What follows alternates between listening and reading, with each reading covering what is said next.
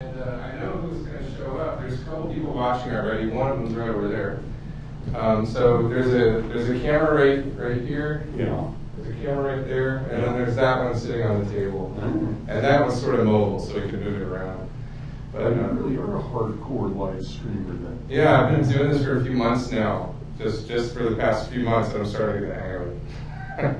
But uh, we I have we have a forum right, and called HTM Forum. I don't know if you guys remember it, but. Uh, so I, I post uh, everything on there, and there's a we've got a I've built up a nice community of people um, that go to this forum. I've got over, you know, I can't tell who are real members, you know, but probably a thousand real people. This is on Twitch?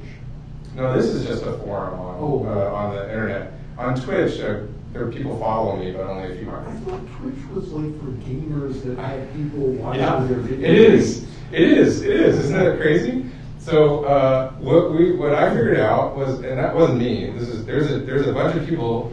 So here's what happens. Twitch realized Amazon bought Twitch. They own Twitch now, but Twitch realized because they were software engineers that they could um, just like the gamers were doing live coding or doing live playing, they could do live coding.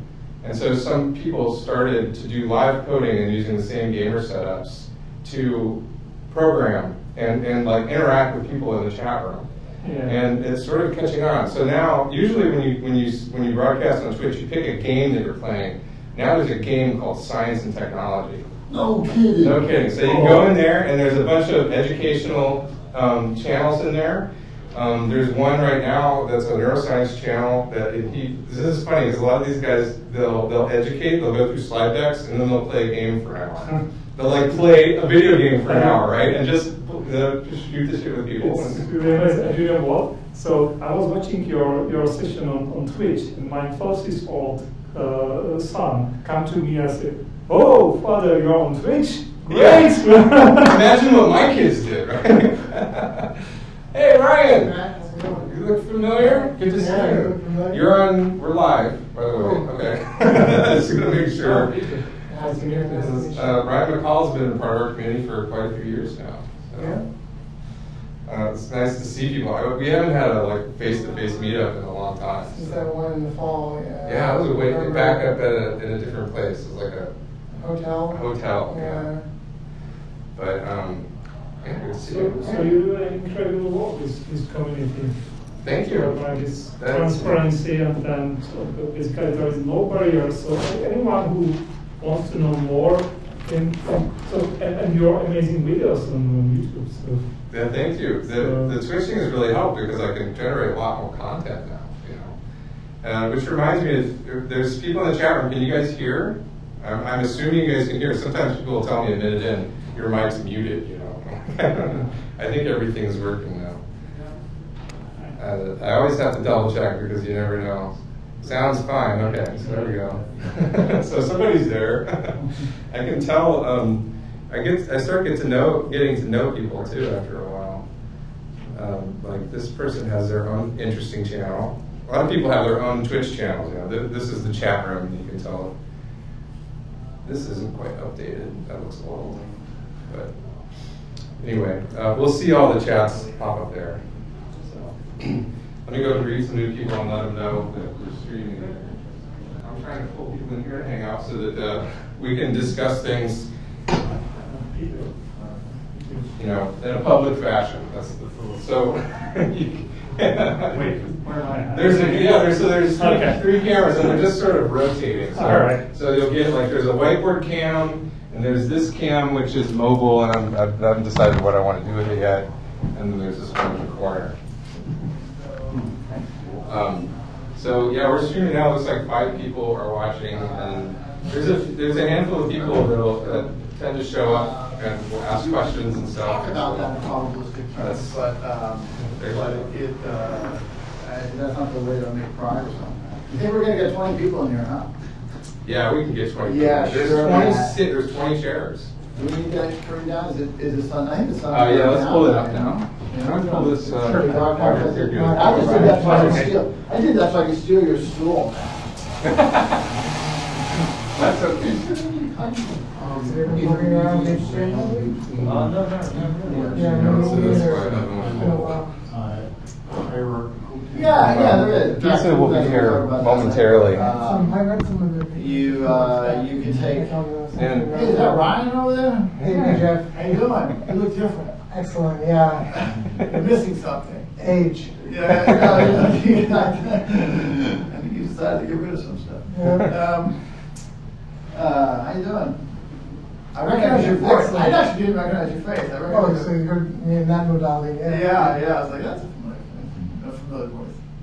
Um, By the way, there's coffee cups. If anybody wants to okay, coffee I cup. actually got some wine. Yeah. I'm- Oh, yeah, yeah, there's. there's I'm riding my beer, bike soda. home later, so I better not drink much. So. But the coffee cup will help you with the papers, because they're all, Yeah. that's the example of all the papers. Right, right. Yeah, we're just coffee cup. It has become a symbol.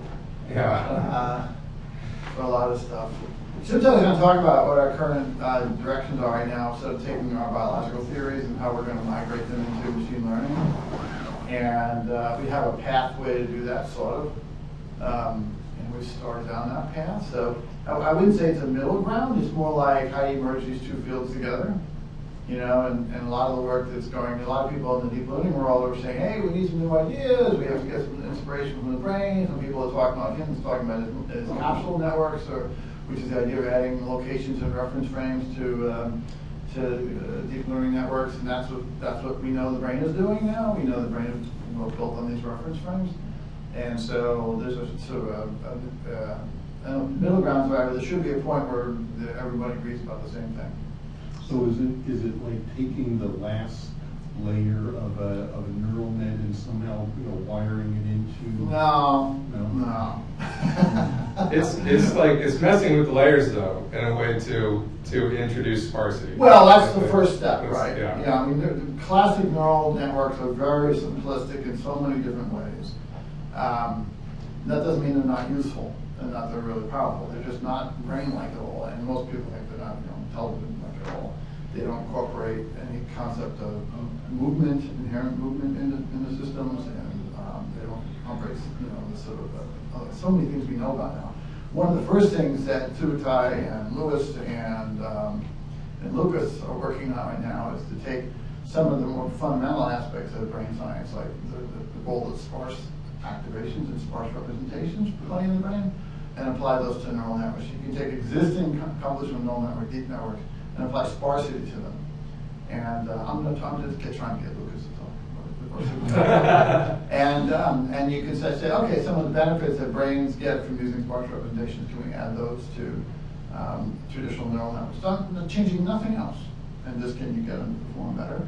And, but that's just the first step on, on this multiple steps that we have to get to eventually. Um, that's an easy one. right? It's easy, it's one of the easier ones. So, uh, that's, Subutai, Subutai, he- he's gonna be here, right? He said he was gonna be here. He's yeah. not here right now. Well, it's not seven yet. so- Ah, I know, we're a bit early here. Yeah. But yeah, he said he's gonna be here. We should introduce Lucas though. Lu- Lucas, is it, let me say your name wrong. Osuza? So, yeah. Osoza. Is it okay. Asosa or just Sosa? Just so. Just There's no Souza. A in There's front. no- Does your middle name start with an O? Oh, yeah, yeah. Okay, that's why I thought Uh, it was an O. Oh, Souza. Osoza. Um, but yeah, he just started as a machine learning engineer for us. Yeah, Hi Donna. he just flew in from Everybody. Brazil, just, just like. Hi, everybody. seemed like Hi, yesterday. Hey, Donna. You're you're on you're live. We're streaming right now, so All right. Yeah. somewhere. What is it? There. How come Yeah. I'm on the camera then? Well, it just switches every ten No. seconds. Oh, does it There- really? Oh. Oh, There's good, good. I- I- Hello, I- everybody. I'm It's Is our anybody CEO, watching? Donna Dubinsky. Is anybody watching? There's six people watching. Okay, hi, six All right. people. Well, on YouTube, there are going to be a thousand people. Oh. Yeah, Are they, they're gonna show up later. Yeah. So, do they really exist? I mean, that's, I don't know. They comment a lot on YouTube. And Yeah. are they really here if they don't show up later? That's Oh, too yeah. That's too deep. What's, which is reality? Yeah. Now or YouTube? So have any of you guys watched Man on Twitch at all? Mm. Yes, yes, we have one. I watched the replays. Like replays, okay. Oh, replays, tonight is the Warriors game, I need to. Oh, I know, tonight's the worst. I I didn't plan that very well. Yeah. We It wasn't my fault. we should be This is- projecting it's this Put it guy's on in a fault. little window in the corner up there. You're James, right? Yeah. Okay, this is the, come on in, Lee. Oh, yeah. You're on, if you want to be on the live stream. Yeah, anyway. it's Uh, fine. This is James Weekly, he's come from Australia, right? And, and. Just uh, for this? Yeah, just No. just for this. Ah. No, it's, if Thank anything, goodness. it's the, it's the other way around, I think. Yeah. This basically, I think he kind of triggered this. He triggered oh. this. Ah. Oh. Because He's like, I'm gonna be in Yeah. town for something, let's Oh. get ah. together, and we're like, let's get together. Oh, okay, well, welcome. We need to get people to walk in that door. Yeah. Yeah, yeah, we're, clo- we're clogging it. Oh, why in. did you set it up at there? This feels like so formal, it would have been good having. Well, when the pizza comes, we'll all file out. Oh, It's okay. already here, so we'll file out, we'll get casual, we'll come back in here for another presentation later. Okay. I'd, I'd rather it be cozy than sparse. That's, uh, I, you hated that, didn't you? Yeah. Um, so, uh, you know, I don't want to start too soon. I wanted you guys to just, you know, have a conversation. But let me introduce Marcus Lewis first. He's, Hi. if anybody don't, you don't know who Marcus is. Everyone must know Mark. I don't know. I don't. Uh, Well, if you follow our work closely, you'll know who Mark is. yeah. If you don't follow our work at all, then you won't know any of us. I'm like the fourth most famous uh, Numentan in the room. maybe. Um, there's But we're, but we're working to change that. Are- are we? Move you up on the ranking. and there are behind the scenes engineers, Luiz Scheinkman over here. He does a ton of excellent work for us that, and doesn't take the credit for it. And I just want to give you some of the credit because he does a lot of stuff for us behind the scenes. Um, do you, is it cool if we go around and maybe, if you want to, give an, give an introduction, tell you where you're coming from, what, what you do, and why you're interested? Why are you this? here? Is Yeah. it the pizza, is it content, is it that, you know? Start with James. Uh, yeah, so I'm from uh, a place just north of Sydney in New, uh, called Newcastle. It's in Australia. Uh, I work in uh, mostly software engineering type roles. Currently a data architect. Um, and I've uh, read on intelligence. I've followed Numenta for a couple of years. Um, jumped in and out of forums and because of the time zone difference, I watch a lot of replays and you know, listen to the podcast rather than much of the live stuff. Um, but I'm here actually for a data warehousing conference, and um, so in the city, I thought um, I kind of it's weird. I've seen a lot of you on videos and things, and it's real life's a bit, bit of a weird feeling. Shorter? yeah. Yeah. It's like when you watch um, you watch a sport or something on TV and then you Mm. see them in person and it's a bit. You get disappointed when you see Yeah. that. They're handsomer, right? They're handsomer. There's something the screen does. to Yeah, people. yeah, we're just, we're just we're setting you up for disappointment tonight, I guess, you know. They say it adds 10 pounds. Mm. But What does? the, s- the camera. Which means we look really good right now. Yeah. Yeah. So James did a you did a plugin for a database. Database I called did Snowflake, right? actually. It's um, the product that I'm in town for is a cloud data warehouse that um, is quite extensible. It supports JavaScript, um, stored procedures. So I ported um, Paul Lamb's JavaScript implementation so that it runs actually in database. Yeah. Um, so you can write a HTM query directly without any kind of in and out of data, which was fun. That's cool because uh, a database is something that's got a lot of temporal data coming in and out of it, so you could potentially use that to do some analysis. Yeah. So Brev, Hey, Brad. good to see you, Brev. There's a there's a, another introduction we should make. Brev Brev Patterson, who used to work here at Numenta as a uh, web engineer. It's good to see you. And he's been you've been doing a lot of stuff on the forums and writing your own HTM, right? Yeah. We were going around doing introductions, so I don't want to jump the gun. We so- got James, we didn't get very far. So, I'm David Galby, I'm an electrical engineer, um, interested in AI type stuff. I'm not, don't know that much about HTMs, but it seems like a promising thing, and so I'm just to learn about it. Great, thanks. You want to say anything? Yeah, I'm Eric from Kestrel Institute. We do formal methods, um, formal verification and theorem proving stuff. And uh, I've been following uh, Numenta's work, Jeff's work for a while. Uh, I just find it very interesting. Formal formal verification. Formal verification of peer like approving. systems, like, like, like the cars and, and Uh, we're power doing- plants, or like theorems? We're doing like cryptographic primitives, uh, you know, verifying that they get the right output for every possible input. Interesting. You guys can have, come in and have a seat if You you wanna want. make sure people don't break the crypto world. Yeah. Is that, is that right? Yeah, that's one, one of the goals. Ah, interesting. Imagine that could be a job, sure, why not? Marcus, do you have anything you want to say? Or no, uh, yeah, you've heard it from me. Although I do remember the feeling that James was talking about of, hey, the real people. I mean, we're real. But, uh, I had the same thing happen. I followed Numenta for a time, a time before I came here, so I remember the feeling. I Feelings to do with grid cells or something, isn't it? would, would the feeling has something to do with grid cells. Yeah. It may, yeah. The, the, the scale was totally off of my previous math of you all. Well, I certainly remember uh, the Manhattan Hackathon because I told Jeff I paid attention to Marcus's presentation. We were doing all those visualizations. Oh, yeah, yeah, yeah, yeah. Brad, we already talked about you, Access Uh, So I'm Paul, and I work at UC Riverside. I do bioinformatics there. And um, I heard about you guys because I had six credits on Audible and I needed to buy a book. And I like AI, and so I, you know, was just scanning through the AI stuff, and I, I saw this book that I had never heard of before, so I, I listened to it, and uh, been fascinated ever since. And then I started to, you know, I looked up your website and followed you from there. So I hear there might be another book. Mhm. No, not here. you guys are you guys are discovering so much so fast that Fast? you know it's. Depends on Fast? the definition of fast. Yeah, fast. I, I am in the research world, so yeah, I do Oh, have okay. It's like, sped up a recently. slow It's definitely sped up recently. Seems like you guys got something every six months or so. Yeah, I think it's, I think it's Really speeding up. It's definitely speeding up. Yeah. We'll talk a little bit about the history later too. So, Peter? Yeah, okay. So I'm Peter Schramek. I'm from Europe, from Prague.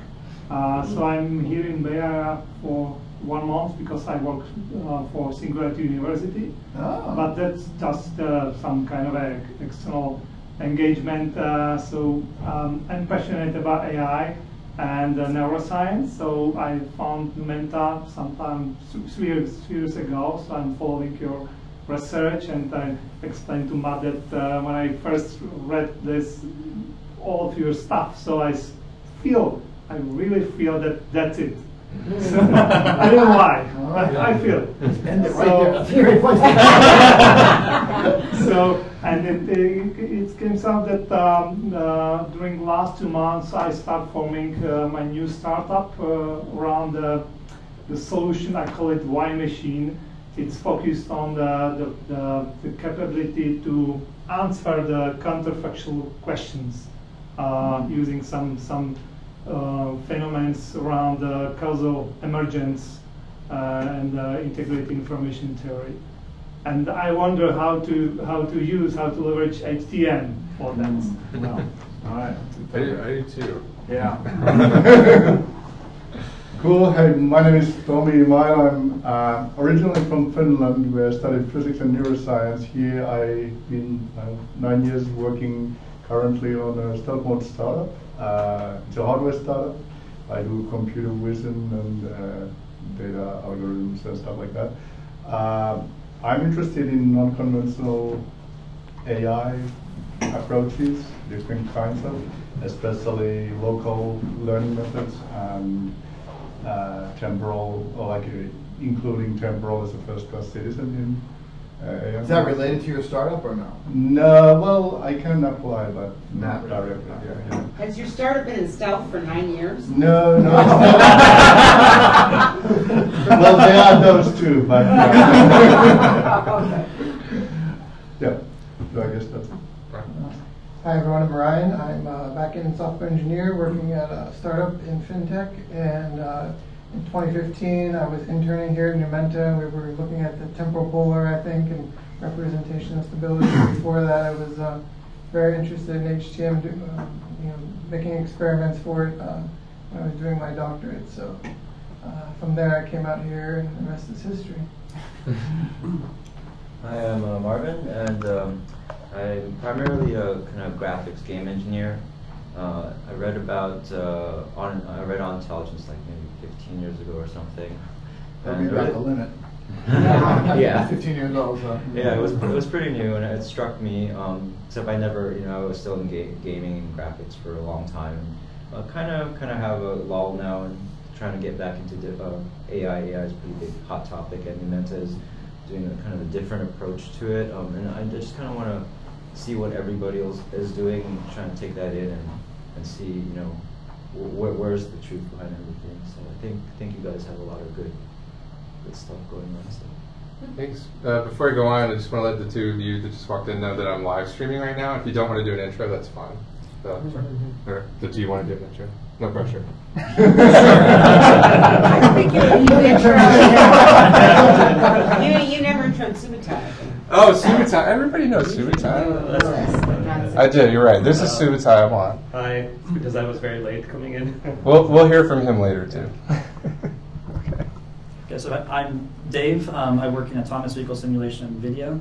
So a lot of my current Simulation? Yes. So with, with the main intent of trying to figure out how to prove, you know, uh, systems that are built partially with neural nets can be released into the world, especially for safety critical applications.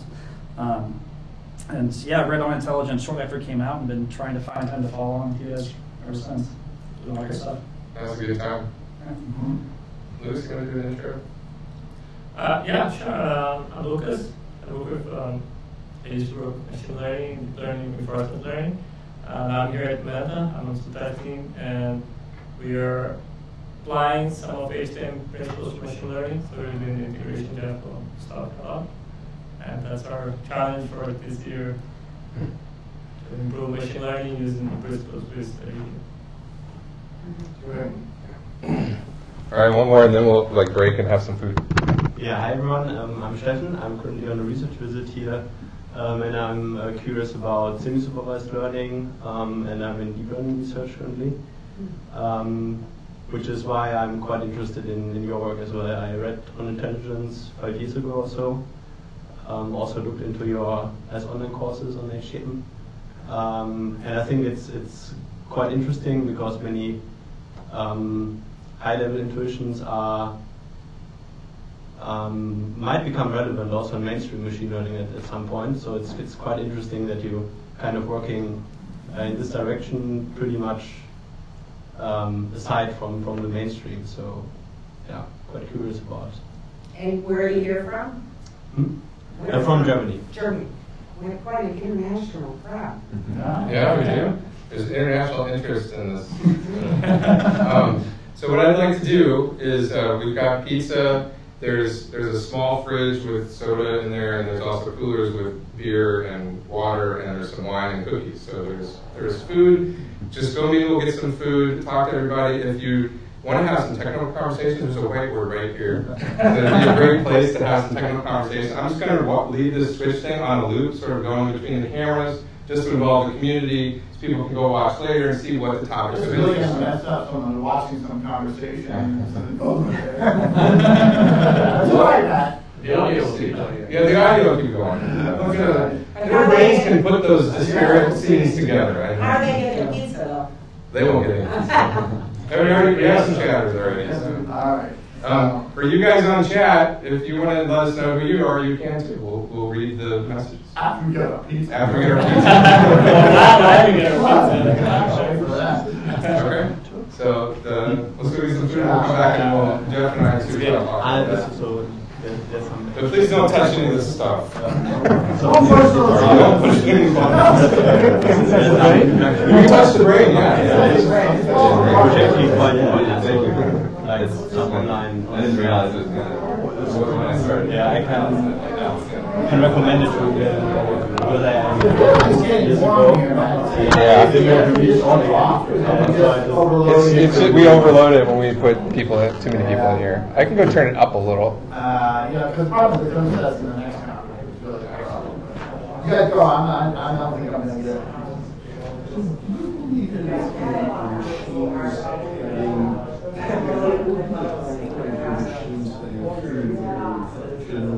Uh, you know, I don't like that term uh, because I think it's a false goal. why should we have machines humans? Uh, intelligence is not defined by human abilities. Uh, that's my and um, we have to understand what fundamentally means to be human, um, to be intelligent, and then you can say oh, lots of humans to be intelligent, but these things that aren't like humans like all and don't even know things that humans do. And of course, human intelligence is not a single thing intelligent. So, I think a general goal, that's wrong. The, the question, the more relevant question is, when will machines have the same underlying principles of operation as the human brain, as the, that underlies intelligence, so that we can say something is unequivocally intelligent, whether it's human-like or not. And I don't know the answer to that question, uh, and the problem in the process of writing a book right now. And, um, and part of it is based on the work we've done here. Part of that is defining exactly what intelligence is, what it takes to make a machine intelligent, how we measure that, if it is true. Um, and um, none of that has to do with human level performance. Now, if you ask the question, I think the, the basic, even just three years ago, I wouldn't have been able to answer what is the basic framework for an intelligent system. Uh, but now I think I can uh, clearly. And uh, so we had some really big breakthroughs uh, three years ago, and continue to do now. And um, so how long will it take to implement that in silicon is very difficult to say, or in any other software whatever. It's very difficult to say. Um, uh, it could be, it's certainly not 50 years, it's probably much less than 20 years. It's probably in the order of uh, anywhere, as short as I can imagine, would be like three years, or as long as I can imagine, would be like 10 years. Um, that's a pretty big range, and um, where it falls in that range is very difficult to say.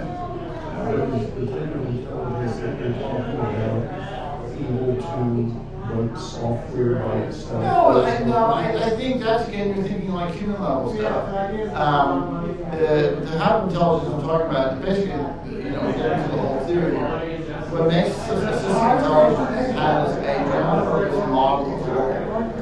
And that model has to be learned.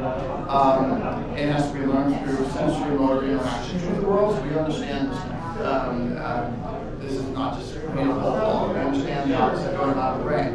And so it's all about building a model. In your head, you have a model of everything around you. You know what pizza is, you know what rooms are, you know what computers are, you know how to operate things and doors. I mean, it's an incredibly complex model that you just don't experience. You only experience these things because your brain has a model of these things and knows how they react. And everything has got a location in the world. It's a very complex model. It's all stored in the neurons in your neocortex and some other parts of the brain. So that is the essence of intelligence. To get to the point of something that can write software on its own, that's an interesting question. Does it have to know uh, human languages to do that? Does it have to know English or some other human languages? Does it need to, um, can you write software effectively without knowing uh, human institutions and human emotions and things like that? Um, that's a question. I don't really know that. Um, yeah, but if I, if you would say to me, could an intelligent machine be incredibly intelligent about something and be amazingly adept at it? Yeah, definitely. But will it be able to write software? Hmm. It's sort of like saying, could it write poetry? And you know, to write poetry in a meaningful way for a human, you have to have more than just this model of the world. You have to have human emotions and human experiences. And so maybe I'd be willing to settle for not arbitrary software, but you know, come up with your own sorting algorithm. Yeah, I, again, I, you know, I could speculate on that. I could speculate, sure, why I couldn't do that. Um, yeah, it, I'm talking about that kind of thing. I, I, just think that's a, it's a red herring, I think, those lines. The, the history of technology says over and over and over again that the users of a new technology are people first imagine them to be things that we do today. But they almost always turn out to be something completely different. And you know, the first computers were designed to replace human computers, people who sat at desks and did mathematics by hand. Uh, you have computers who do that, but that's like zero point, you know, zero zero one percent of what we use computers for today. Um, and um, so you know, to ask the question, will a computer be able to write software? Yes, it will. Uh, it's not the first areas that are going to be commercially important and viable. That is that the test of superintelligence? And I don't think so. Um, but they'll get there. I just don't know if that's a goal. If that should be whether we should be viewing that as the first goal. Uh, the whole purpose of the, our work here and what I'm doing, writing this book, is to get people to think, understand what intelligence is, and more broadly about what could uh, could be applied for what might not be applied for. And um, certainly, you could think about could it write software. You could say could it design computers and could something like that, you know, you know, I don't know, design buildings. Um, sure, but um, it just I don't like to think lines. I don't think that should be our thought process about a goal uh, for it because I, I, it's hard to know how the technology can evolve and what would be the first things we have to do. If we focus on doing something human-centric like that, um, it can slow things down dramatically. So do you have like a particular thing you want a, a, a baby intelligence to be able to Uh, do? yeah, no, I have. I, I it's it's very fundamental. It's like um, it's like the, in the 40s when they designed computers. It really wasn't about the particular task. It was about computation in general, the nature of algorithms. Can they be, can you compute something and not compute something? What constitutes a universal learning machine, or now called universal Turing machine? Uh, that's the level I'm focused on right here. Here is the, sort of these fundamental principles of intelligence, and I, I don't have a particular, you know, for here's our first task. Um, and I think that's right. If I, I have a particular ultimate task that I think about, like something that I wouldn't shoot for right away, but something that we ultimately have to shoot for. Um, and, and I use this more as an example than like this is the most important thing. Um, but you know, a lot of people want to like go to Mars and live on Mars. You know, Elon Musk wants to do that. Bezos, other people want to do that. I think you can't do that uh, until you've got uh, extremely intelligent robots who can go there and prepare our arrival. Mm-hmm. Can build and repair and you know can work in that environment, Mhm. terraform, Mhm. build, mine, everything that needs to be done to survive there. They have to go before we go. Mhm. And those, those agents have to work independently, they have to use tools, they have to construct things, they have to solve problems. Mhm. Um, uh, that is going to ultimately be a very important thing. That kind of thing is going to be very important for perhaps our long-term survival as a species, and also our ability to explore the universe. Um, and so we are unfortunately very uh, bound to Earth in many ways. I don't think we're going to be very happy living anywhere else. um, so you know, I can I put like a long character. I, I think about like what would a long-term benefit of a really truly intelligent machine might be. That's one of them. It sounds like a much harder thing though than just a machine that could write software. I disagree, actually. Um, I don't think so at all. Uh, you have to understand what intelligence is first uh, to understand um, uh, why whether one thing is more difficult than another. Well, you have problem, the problem solving of a, of a robot operating autonomously Yeah. on Mars is, is a much more unconstrained. But that's the, that's the that is the whole crux of intelligence is building systems that are unconstrained. And so part of the thesis here, and this is not in our paper. If you read our paper, I don't spell this out explicitly, but I have spelled it out in this book I'm writing. Um, the key to making a general purpose intelligent machine is how the model of its role is constructed. And the key to that is how it represents space, how it represents structure or reference frames. Like the way the brain works, it has all these reference frames for everything. Everything you see here has a reference frame around it. Reference frames like an XYZ coordinate frame, you can think of it that way. Um, in, in roboticists think about reference frames, some computer vision but, but you, the fact that you see this board over here, and you see me here, and my hand here, the only reason you can even know that those are different positions and distances from you is that the neurons in your head are actually representing those positions and those distances. Um, the perception of depth in the world, the perception of position in the world, is all actually, every single thing is represented by pockets of neurons distributed throughout the neocortex that represent those locations in a reference frame. So there's a reference frame associated with this room, and you might say, well, where does the table is? It's in the center of the room. Well, what does that mean? It's relative to the reference frame of the room. It's not exactly an XY thing. I can't put to a number on it, but we know how the neurons do this. Uh, they represent locations relative to reference frames, and every, you have reference frames relative to your body, there's reference frames relative to the object, every object is defined by reference. If you read our framework paper that came out in December, uh, January this year, talks about this extensively. So you should read that. Um, and uh, so the, the, your intelligence is built on this model world. The model world is built on assigning reference frames to everything. This is how the brain works. And that's how you can understand the world. And then the question about um, general purpose intelligence or flexibility, what was the term you used? Uh, uh, unconstrained, is how there, there are different types of reference frames you can use, and it's important what type you use. You want one that can be applied to many different types of problems. So the, the evolution has discovered this type of mechanism is known as grid cells in the brain, and they represent a reference frame, and it's a very general purpose reference frame. So we can use it for moving our body, we can use it for uh, you know, my hand, my fingers, my eyes, we can use it for, for learning the structure of objects, we can learn use it for learning language. It's all based on the same algorithm, the same modeling system, and that modeling system is very, very generic. So once it's related to physical things rather than say It- mathematics. No, it's both. That's the beauty of it. That's the beauty of it. It's, it evolved to do physical things, but it, it actually represents mathematics too. Uh, um, knowledge of any sort is assigned to locations in a reference. And those, those reference frames do not have to be attached to physical objects. They can be conceptual spaces. And when, just like you can move between a, in a physical space, like I move in this room and I can plan my motions and activities, and when I move to someplace else, I sense something different. When you move mentally through these spaces, um, which is everything is mentally through these spaces, you can move through the space of language, you can move through the space of mathematics.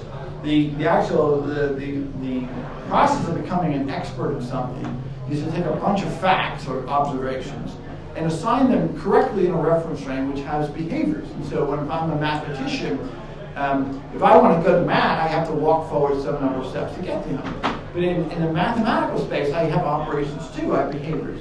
So I might do something like, oh, I'm going to multiply, I'm going to divide, I'm going to use a Laplace transform or something like that. These are behaviors which move me to a new location in this reference frame, then there's new facts there. So I can take one sort of equation, take a simple example, I can take equation, act upon it, and now I have a new equation. And how do we assign Yeah. those to reference frame locations? So this is a pretty deep theory, and since you don't know the basics of it, it's going to be hard for you to absorb this in one sitting. Um, So if I want to I talk, like, suggest you read being that recorded and and live watch stream it as food right now. So Um, You should be in there, you know. but the brain tells us I've got a the Luke anatomy I can the put it right on the is way. long history. The, the way the brain does mathematics, the way the brain does I'm language, the way the brain does forward everything is based on the same basic algorithm. You guys organize this over and over and over. Because, like, That is a I've fact. I haven't done this in a while, um, a couple of years. Okay, okay. So yeah, it's explain been why I haven't noticed it. Yeah, it's been a couple of years. I used to run um, hackathons. Oh yeah. Two a year. I did that for three years. I think we did six hackathons, starting in 2013. But we went, we, we changed our focus from applications of HTM back to research. Okay, yeah, that's good. I'll um, I'll talk a little bit about this in a moment. Because uh, we're going to give a short, you know, presentation. Like Yeah. here's here's the, uh, uh, here's where we're at. You know. Yeah, that's, I think I kind of paid attention to you when you were kind of publishing some tutorial videos and then I don't know if they Yeah. stopped or if I just stopped noticing them. No, I stopped doing the tutorials and started doing educational videos on Okay. theory.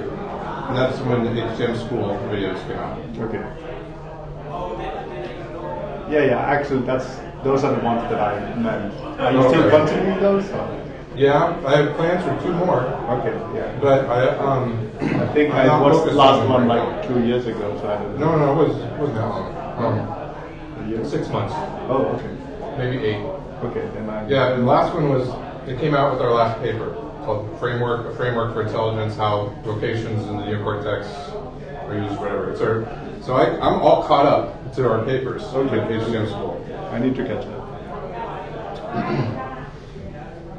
but I, I'm not doing those currently. I'm focusing on, I'm working on um, an interactive tutorial on how to build HTM systems. Yeah. And I'm building, I'm doing that on Twitch. So if you watch my Twitch stream, I do that once a week. I work, and people are helping me build it, which is really fun. so I don't know how to. I'm not very good at React. I'm new, like React JS Yeah, is yeah. a JavaScript framework. So there's somebody in the community named David Truman who logs on almost every time and helps me build React applications. Yeah, I was working. I, I had to create some UI stuff and I had to study React, and it was painful. So I'm not. I'm not a front end designer. Or front end I don't, I don't like it either. I still don't like it. I, I complain about it all the time. But there's some very cool things. The state management is nice once you once you have everything set up.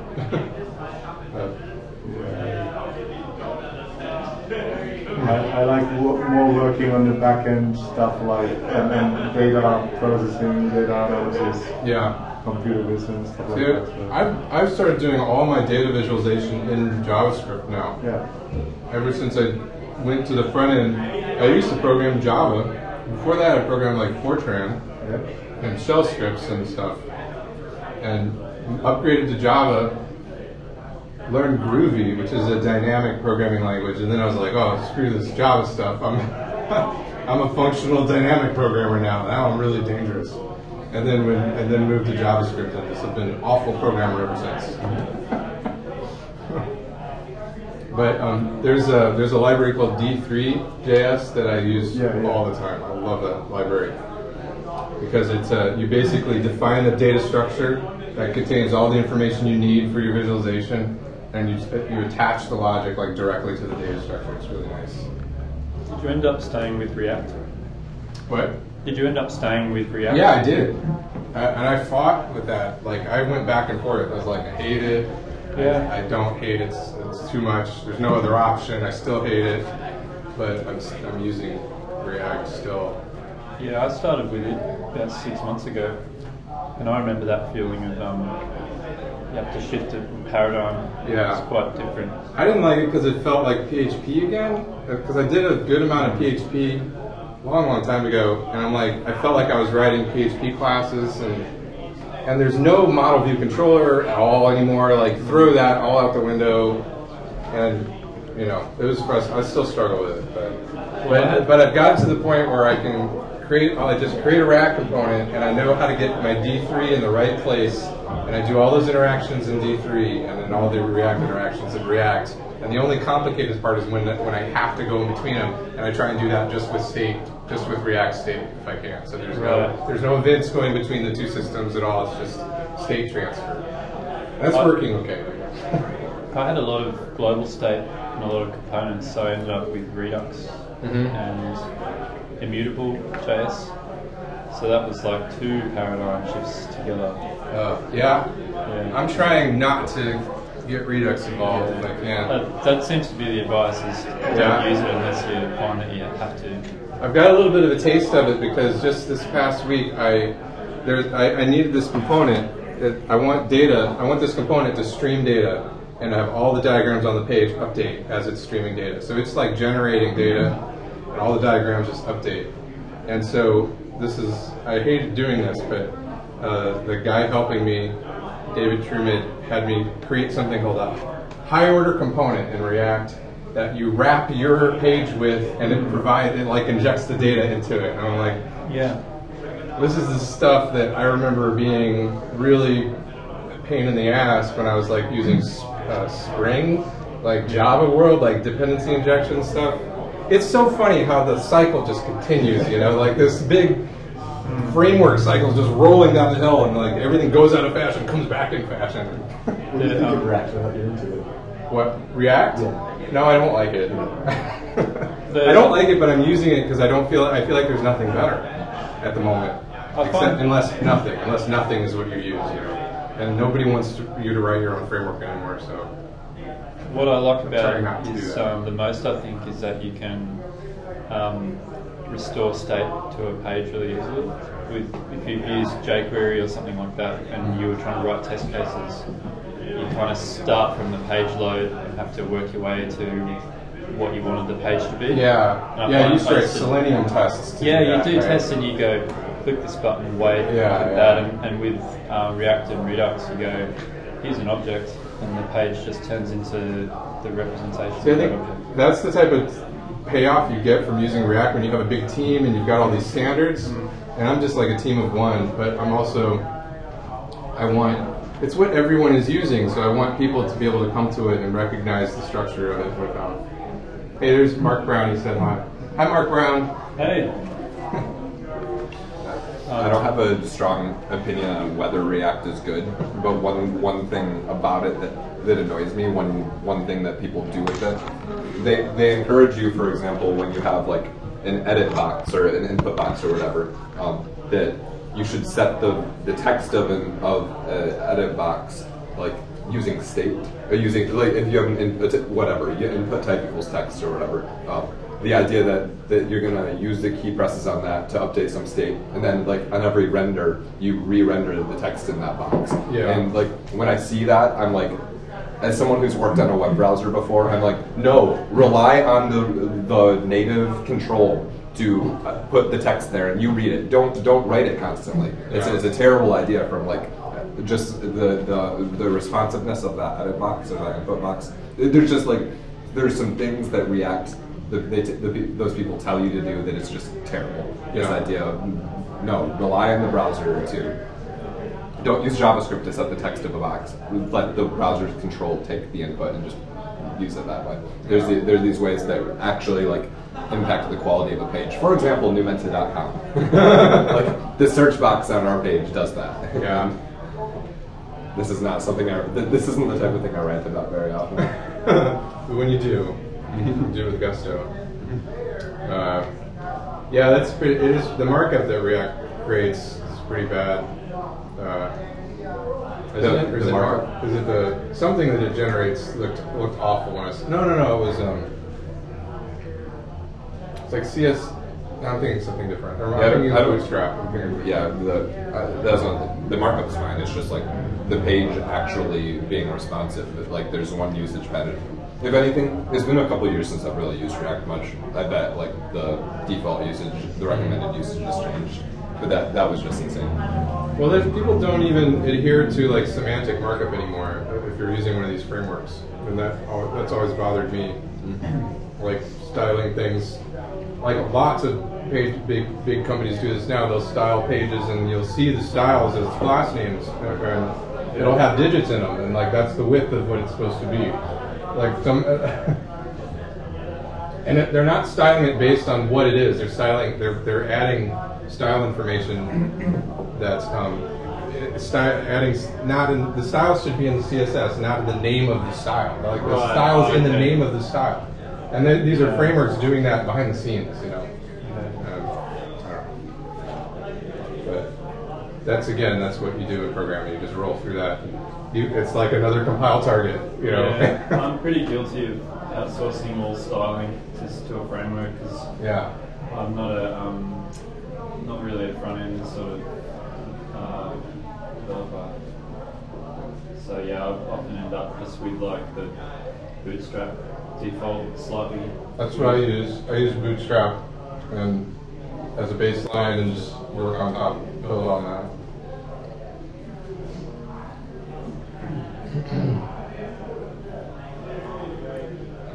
Another slice of pizza. 'cause I'm just feeling pizza. This is a nice office. You've been here for a while. Yeah, um, let me think. Three years? I think three years. Before we were just down the street. I've been here since 2012. We were down the street. So this is kind of like a commercial, more like companies. office. Yeah, there's a lot of um, a lot of companies around here. This place has built up a lot over the past five years. Okay. There were not a lot here five years ago. So I was just over at um, uh, what's it called, San Mateo, Mhm. um, and that's that's where the company on the conference board had their office.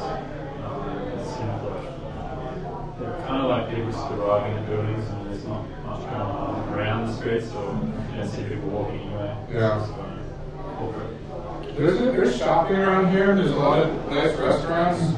Got the this is that's a museum. The old Oh, yeah. county courthouse is, is a is now the county museum. We've had an event in there, actually, I think two. Um, but yeah, this is a nice downtown area. You don't live here though, you work remotely, don't you? What? Do you, you don't live around here though, because you work No. from home. I, I live in Watsonville, which is over, in traffic, it's like two hours away. Oh, okay. But tonight, it won't be two hours because I'm leaving late.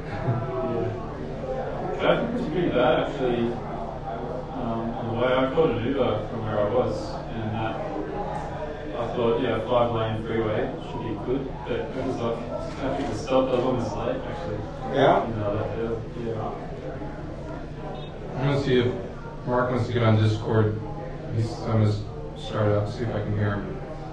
I don't have speakers set up on my end, Mark, so I'm not sure how, how this is sound. Let's see here.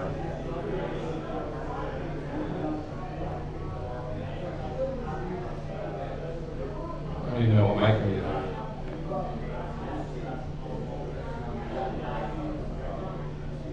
you hear me?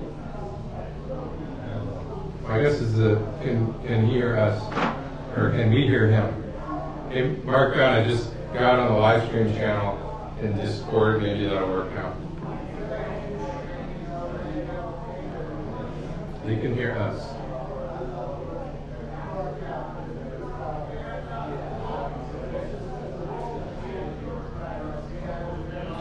I don't think there's a Twitch voice channel, Mark. I don't know. Hey, there he is. All right. I can't hear you that great, but I got the volume all the way up. Okay, I can hear you. Can you hear me? I can hear you, yeah. Hello? Yes, we can hear you. Oh, you guys, I think I'm muted. Hold on. All right, all right. Is that better? I'm muted. I was muted. I can hear you. All right, here we go. It's a little noisy here. There's a lot of chatter in the background. There's a lot of um, AV technology in this room. Yeah. feels like there's about five cameras. There's only three. Well, there's that one that's not hooked up. Because uh, my laptop can only handle two external cameras. I learned that yesterday.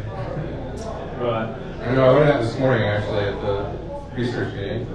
So I, I've got the laptop camera and then these two external ones. But if I hook that one up, it'll, it won't recognize it. I need to upgrade my laptop, I guess. Well, I'm going to try and get people to come back in here. We're going to talk a little.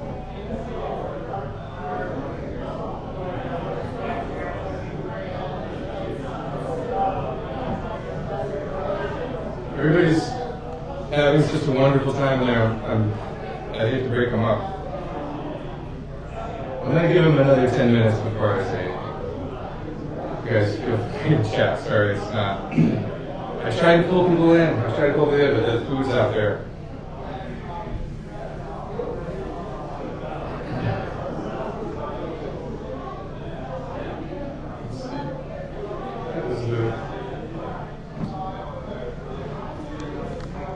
Let's see what's going on out there, I.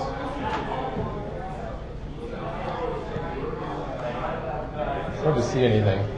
But there's a bunch of people out there chatting.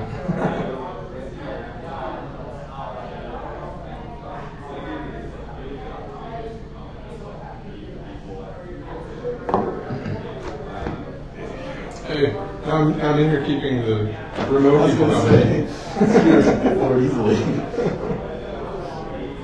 you remind me where you moved up northward to now? And then moved I. I, I moved twice since Yeah. I, I moved from Paso Robles to Boulder Creek. Okay, Boulder And then and that didn't didn't work out. Now we're in Watsonville, but the La Selva area of Watsonville, which is sort of close to the coast, and it's really nice. Also, my only complaint is the house is super small. Everything else is fine. The kids are happy in their school.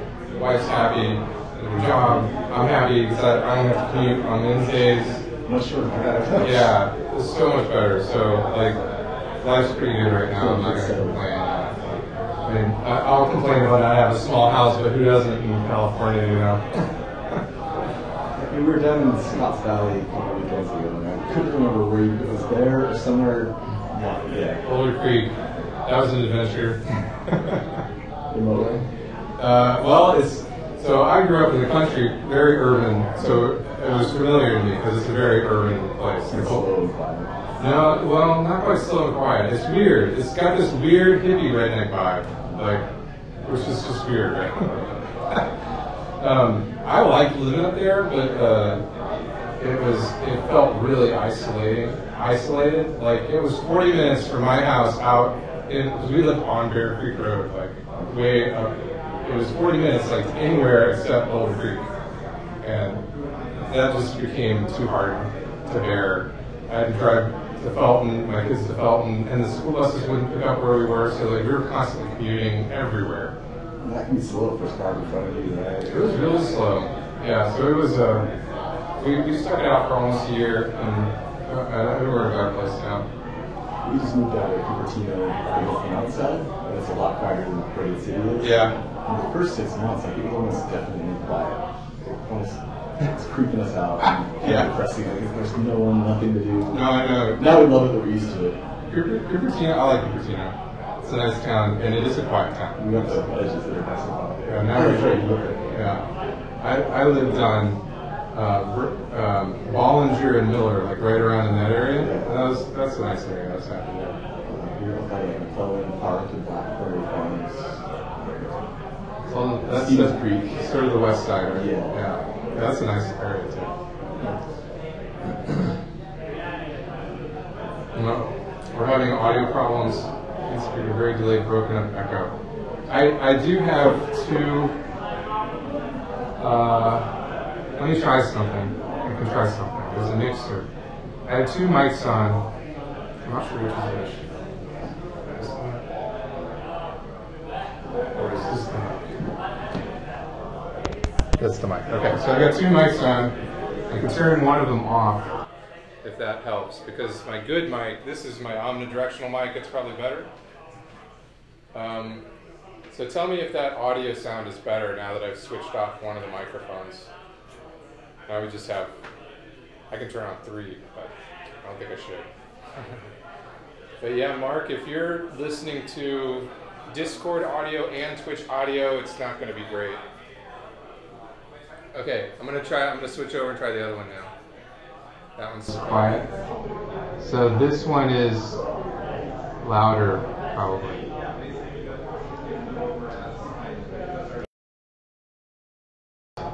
I did have them both on, and then I can sort of cover both sides of the room. This is this is one side. It's only Discord. Okay. All right. All right. Thanks for hanging in there, you guys. Um, see if I can pull everybody in here so I can give a short talk.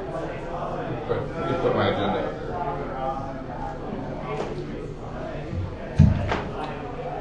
And how do I want to do this? Got nothing on. Like I know Jeff's gonna. I can hear the, uh, output from my uh, voice coming out much later. There's a I, I think that's just going to happen. And what, what usually what people do when they're interacting directly with me is they'll mute the Twitch channel and interact on Discord, I think. At least when David Truman and I are pair programming, I think that might be what he ends up doing. I've never been on that side of it, so I, I don't really know what to do. If, uh, if the delay is a problem for you in terms of slowing down speech, it works for me. I can hear you. Okay, yeah, this works fine for me.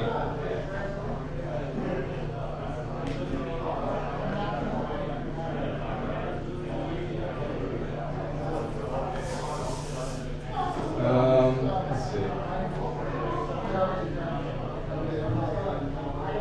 Yes, uh, um, let me see.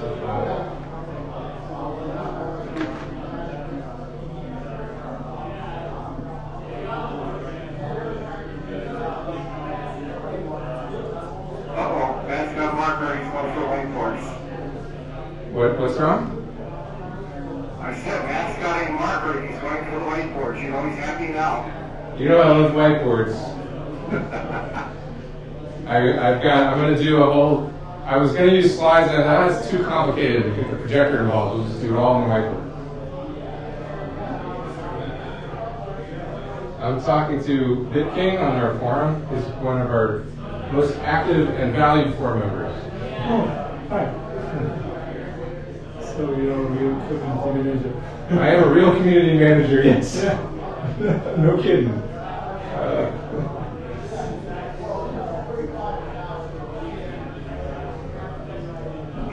By the way, I will be uh, in Jordan, Amman, or Amman, Jordan next week, so I probably won't be on the forum much.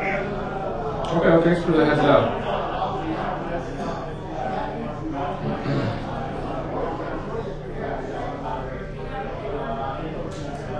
Yeah, I probably would notice if you did if you started just not posting. Like, what happened?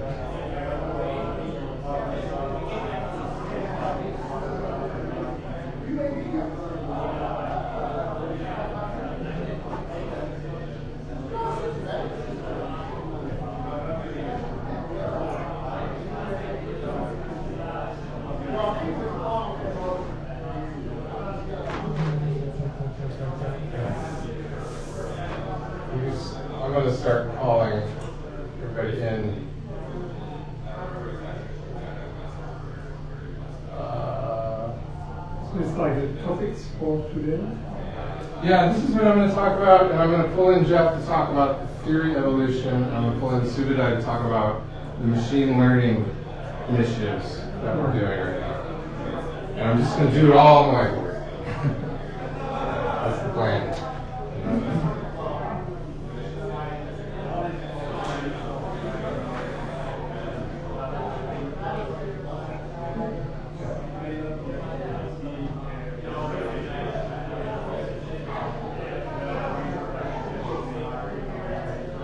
There's still a couple people eating.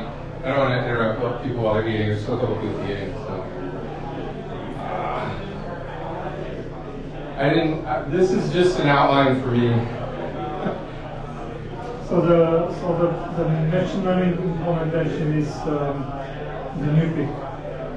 No, no. NUPIC is not machine learning.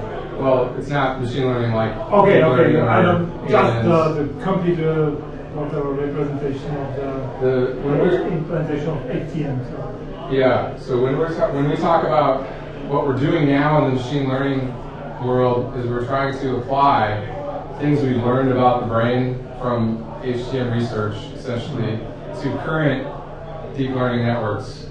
Uh, so Subutai will talk about some of that. Uh, but we made some I progress. missed the introductions, but uh, uh, don't let him kid you. Uh, Matt's still got a machine and still learning.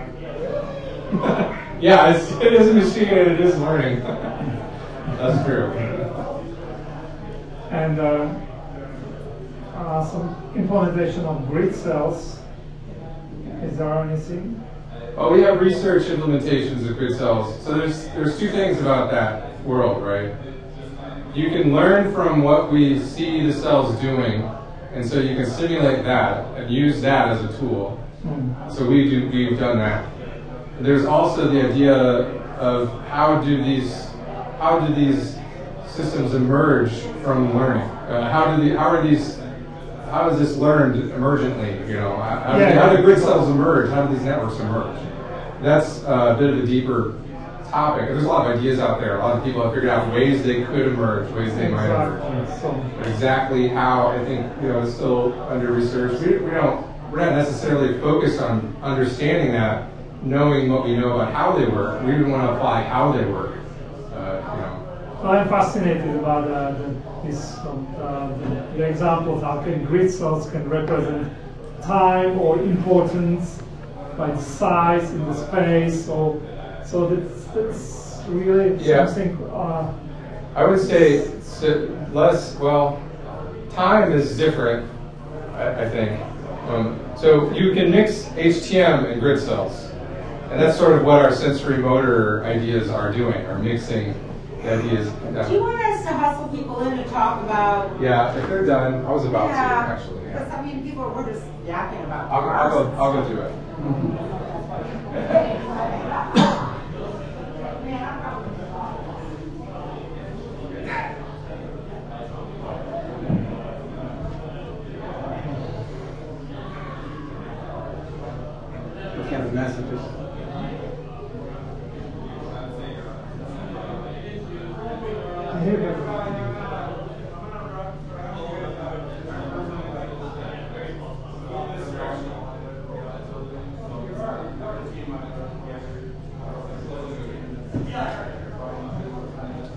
They're slowly moving in this direction. Herding cats, I believe is the term. Yeah, they're, they're coming. Uh, different aspects of how the hardware will be used and how it will work and stuff like that. So it doesn't exist yet, so, so it's all just now. That's my goal. Oh, is it? Oh, You can see this. Oh, okay. What? So you're. I don't know.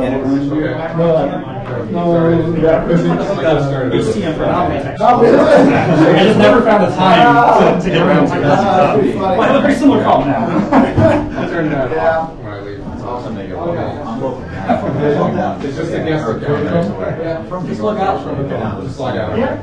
Uh, we do a little presentation. Yeah, I think so. Everything.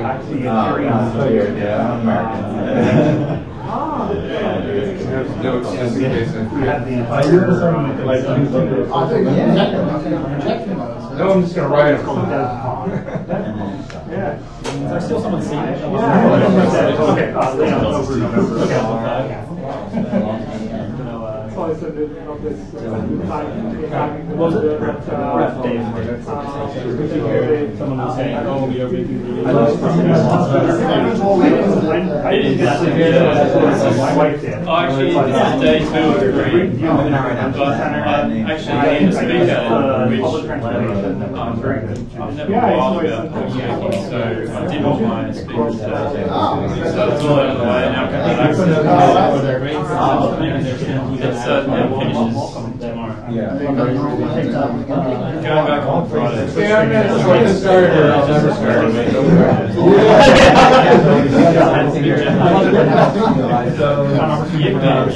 Yeah, yeah, I, I lived in Australia, once, and I did a series of talks in Melbourne. So, Sydney, and everybody, Brisbane. I'm not gonna be too I loved it. I long. just thought, Oh my God, I could live in Melbourne. I can. I'm not, I'm not gonna, I'll try not to go too long, but what I usually do when we have meetup like this is sort of go over the state of things, the state of the community, um, of, uh, the, the company, where we've been, where we're going, all that jazz. Um, let me flip this to the whiteboard screen. So, um, quick introduction, come on in, it's no big deal, come on in. Uh, I am the, a community manager for Numenta, so I've, I've been managing the community since 2013. Uh, so my big responsibility was a project called NuPIC, and that was open sourced in, in 2013. This was my baby for a long time. Uh, we didn't have any releases, we didn't have any compilation, we didn't have any CI, we had nothing when we open sourced. We just made it public. So all there was a lot of work that went into this, and uh, just this past year, I think it was 2018, we have we have put NuPIC into maintenance mode, maintenance mode, which honestly made me unhappy because this was my baby for a long time. But there's there's there's reasons. This why- was your idea, though. This was, it might have been my idea, but it was it was inevitable. Like I, we had to do it. So, so I wanted Sign of success. It- I guess it's a sign of success. So, the, it- but the bad thing is this is this is Python 2.7, not Python, Python 2.7, and we're we're not going to update it to to, to 3.0. And and what what tends to happen um, with our company is, and I'm going to go back and, and justify this by talking about our mission because like Jeff said, I was heartbroken by this, but it was also my idea. And, and the reason is um, the mission that we have at Numenta is, is more important than a software project. Let me get this right, because so our mission is twofold: to, to reverse engineer the neocortex. That's a that's a summation of it. Yeah. That's just reverse engineer the neocortex. Right. And the second is to apply what we've learned apply our knowledge to create machine intelligence, however we want to define that, but to create machine intelligence. And so, so when you do this, you have to inform, this has to inform how we do that, and then we test it out, and then we go back and say, okay, how, how did that work out? So we've got a, a loop here, and what you end up is with a whole bunch of, of research and then a bunch of prototypes. And again, it's this cycle. You, you create things, you test and test and test. You think this is really how it's working, and then eventually, like that wasn't exactly how it worked. Let's let's start again and, and build something new. Now, if you think, if we go back, I'm going to need Subutai's brain a little bit here, because I wanted to try and list all the different HTM implementations. oh God. I, I hear a voice. Is that your voice feeding back, or is there someone talking or something? I don't, I don't know. It might be that. I turned the sound up. Oh, I don't know. Well, okay. Um, so I know we could start with Zeta 1, or was there something before Zeta 1? Sure, Zeta 1. Zeta 1, and obviously Zeta 2. Was, and then there was something else, I don't remember what it was called before NuPIC. we had things like the Vision Toolkit. Right, right. Um, the Vi Vision Toolkit. Uh, that was all like the original NuPIC 1.0. Now, now we have a new NuPIC 1.0. Yeah. That was the original NuPIC 1.0. And then that was all proprietary. And then when we open source NuPIC, we sort of just threw that over the wall. And here we have this, we took uh, yeah, I, I some state of this. Yeah, well, that was also a much older generation of algorithms. Mm-hmm. Uh, so what's in NuPIC today is not that stuff. Right. Uh, this that was all have mathematical. SDRs and, and uh, yeah, that was all pre all that stuff. So before we did open source, did the age of HTM go away? Oh, when did the higher? Well, it's never gone away. Uh, the, the, term HTM, or I guess I think is what he's asking is we had hierarchy back here. When did we? We don't have hierarchy necessarily. We never used hierarchy in our NUPIC applications. So I would say before we open sourced, we. Can I try to explain what it means to go away? Yeah. So um, the neocortex, which is our primary goal to understand the neocortex, is traditionally described as having being built of a hierarchy of these regions. And so they're connected, these regions in the neocortex are connected in a very complex way, and people talk about it as hierarchical. That's a fact. Um, but the neocortex is also built out of a repetitive element uh, called the cortical column. And there's 150,000 at least in the neocortex, and they're virtually identical. And so what we, what we decided to do is to focus on what one of those cortical columns does. If you understand what that one column does, then you can basically understand the whole thing. And so we just started doing our research purely on that 100,000 neurons and a square millimeter of neocortex. And when we focus on that, we're not thinking about the hierarchy. Uh, so it's not like the hierarchy went away, it's just we weren't focused on it. Um, so we stopped talking about it as much. Uh, we actually reintroduced it again uh, recently in the Thousand Brains theory. So, because um, we made progress on the column.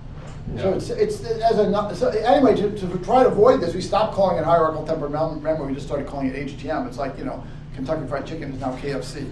So um, that way you don't have to ask what's in the right? Is everything chicken? No. Is everything HTM? Does H stand for hierarchy? No. Just HTM. That's it. So, uh, but that's the history behind it. And that, I mean, we, we that was before we open source NuPIC. We weren't worrying about hierarchy when NuPIC came out. Uh, I don't remember the history. I don't know. Yeah, in between we had this um, uh, sequence memory and spatial pooler. The branded algorithm, that's what's in the Yeah, yeah. That this, was not in the Zeta one. This is, yeah, the SP, the, and the, the T, well, we called it TP at the time, and then, then the TM came out. Oh, yeah, really good. Yeah, TM. TM, yeah. Eight years ago, or eight and a half years ago, we had a real breakthrough where we sort of abandoned all the old stuff and we went to this new stuff. And that was started with a white paper eight and a half years ago, which then resulted in the, uh, the, yeah. the, science paper that's titled uh, Why Do Neurons Have Thousands of Synapses? The Theory of Sequence Memory in the Brain, which has done extremely well, that paper. Um, so that was like the first time we explained how neurons in the brain really learn sequences and why, how they make predictions. So at that point, we started over again.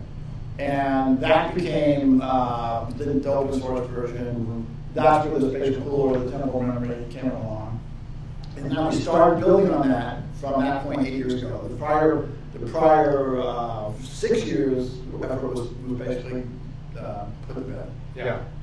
So I wanted to try and come up with, I'm going to need help from you guys, all the community implementations of HTM. I'm just trying to start back from before we went open source. I know there was one it was called OpenCLA or OpenHTM. It was it was David Regazi and Doug King and um, uh, Resnack, I think, Mark Odehall, who were working on that. I think that was called OpenHTM or OpenCLA. OpenCLA rings a bell, something like that.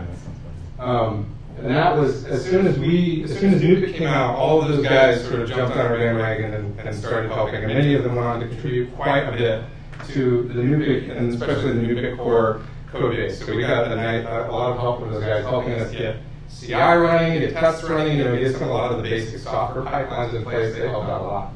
Um, I can't ignore HTM.java. So David Ray put a lot of work into HTM.java. He pretty much went through all the NUPIC algorithms, ported everything, um, and that was one of the very first, you know, re real structured implementations that we have. And you could use that as a nice reference implementation. He's got it really nicely written and, and uh, uh, good Java coding. Um, okay, uh, so I'm just going to randomly start naming some. There's one in CUDA, there's HTML CUDA, there's a bunch of C++ implementations. Um, I think there's, there's a new one called Etaler from Marty on the forums. This is a C++ implementation that's supposed to be parallel and, and use like tensors as a structure very heavily. Um, so that, that could be interesting. I'm still trying to get it to work on my stupid Mac. Um, I'm missing so many. Come on, somebody, somebody get a point. There's a Golang, there's a Golang 8, 8 uh, implementation. I think Derek Pinto wrote that. I think it's just called HTML. Clojure. There, that's right. Comportex. Comportex, which is uh, Felix. And um, Marcus also used Comportex a lot. There it is. Um, there's a there's a C sharp implementation. I know that might just be the spatial pooler. No, this is just the spatial pooler. But there, there's a C sharp implementation. There's uh, now I'm have to look at my notes. There's uh, oh, of course, there's a community fork, which is currently called nupic.cpp. This has Python bindings, and I've tried them out both for Python 2 and Python 3. I've run HotGym in this, so you can run Python 3 HTM code with with Nupic CPP. You have to write a little bit extra code to because there's no OPF. There's there's I mean you, you have to like use the rare the, the raw algorithm code to do it, but it works. Um, and then of course there's nupic.py, uh, which is not ready for prime time. It's, I think they're still working on getting it to Python 3. And what I think this is going to turn into is something like the OPF, not the OPF, but something like it, some type of framework that makes this, exposes this more easily to a certain use case, something like that. At least that's the direction I'm encouraging them to take that. Um, so there's a lot of activity still, and some of these are still really new. You've got, you know, James's uh, Snowflake database plugin, which is interesting, taking, oh, which reminds me, Paul Lamb has htm.js, which is a JavaScript implementation. He's um, done a great job making that a, a, a, decent implementation. He's got demos online. If you ever, he's got a little piano demo. You can see the notes and you can see the bursting and everything, just like like the HTM school thing. There's a few more JavaScript ones too, like Ian has one. There is, yeah. There's another JavaScript one Ian wrote. Um, I can't list them all. So this is even all of them. And these are the only ones I know about. There's a lot of, there's a lot of them that um, nobody ever tells me about, and I'll run into them, and I'm like, where did you come from? There's, a, there's a bunch of academic papers that have re-implemented HTM and yeah. you know, talk about different properties of HTM. Well, that's true, yeah. So that's just, just hardware implementations. Yeah, there's a lot. Of, so I mean, it's it's been catching on. There's a lot more people that know about it and uh, understand how it works and can implement it now, which is great. So that's sort of the open source uh, um, evolution of the code at this point, and I, am going to ask Subutai to talk a little bit more about the direction that will continue to go, but I would like to ask Jeff first to talk about the evolution of Fury, because one thing I'll say, and I'll let you correct me as soon as I say it. You're always right. is that uh, the NUPIC and everything within it is, is sort of a, is a different evolution of the theory than what we're doing now, which incorporates motion, right? Yeah. So why don't you talk about it? Okay, so uh, just, yeah, really real quick, right? The number one goal, reverse engineers in your cortex, right? And that's like 75% of your brain, okay? And it's part of the brain, that's about intelligence. And so, um, uh, what our basic approach to that is, is, is understanding that the, the neocortex, what it basically does, it builds a predictive model of the world. It learns a predictive model of the world. So to understand the world, you have to have a model of the world. And that's a very complex model, and it's stored in the neurocortex, and it's constantly making predictions of what's going on. So we attack the problem by asking how, how the brain can make predictions.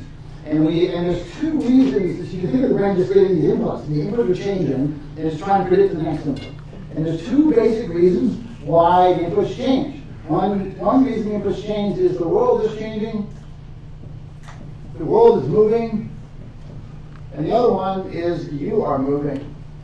And um, so the, the, first one is like a melody. You can sit there, you don't have to move at all, and the sounds come in, and you can recognize the melody, and you can predict the next note of the melody, or language, and things like that. So, um, you know, bird flies by, whatever. The other one is the inputs of your, your brain changes because you're moving. Every time I take a step here or turn my head, massive changes are going on in my brain. Massive. And this is, are you found at the source of this? I'm still connected to the double. So, so, so we this is because this is based on motion yourself. This, we figured this was the easier problem. So this is the first one we attacked, and that's the thing we figured out eight years ago. Uh, that's the thing that led to the CLA white paper. It led to the thousand, uh, to the uh, um, the whole um, uh, white neurons of a thousand synapses paper. Most of what people think about as HTM is based on this theory here, which is a very small, it's a subset of what the whole neocortex is. It's actually a very small subset. But it, it, had a lot of important concepts in there. It had the concepts of, in, in sparse, uh, the whole theory about sparse representations, the whole theory about uh, how neurons use all the synapses to make predictions. It had a theory about mini columns which exist in the brain. So there's a, there's a lot of fundamental stuff happening in this particular discovery. And then three years ago, we made significant progress on the second one. And we figured out the basic trick of what's going on here. And uh, that's a much harder problem to understand. Uh, and, and this resulted now, we've had now had three papers on it, I think, uh, Columns, Columns Plus, and, and framework papers. Uh, there are three neuroscience academic papers, you know, uh, neuro, you know, neuroscience papers about this topic. Um, it's a quite fascinating solution to understand how it works. It's built upon this, so basically you take this and you extend it, you get that. So these are really tied together. These are not two separate problems. And the solution here really, really was a, it's a huge idea. It's about how reference frames are used the, to model the world. Um, and there's a lot of biological details in that. Very, um, so we're, we're, we're working on this. And what's happened is we don't think there's enough, this, once we figure this out, and so we understand how like, one of these columns in the cortex can basically build a model, um, basically build a model as a column in the neocortex here. Um, build a model, this little single column can build models of the world just by, by movement and so on. Once we figure that out, then you can start figuring out how the whole neocortex works, and that's in our framework paper, which came out in January, which talks about, uh, reintroduces a hierarchy and explains how these, these different models work together.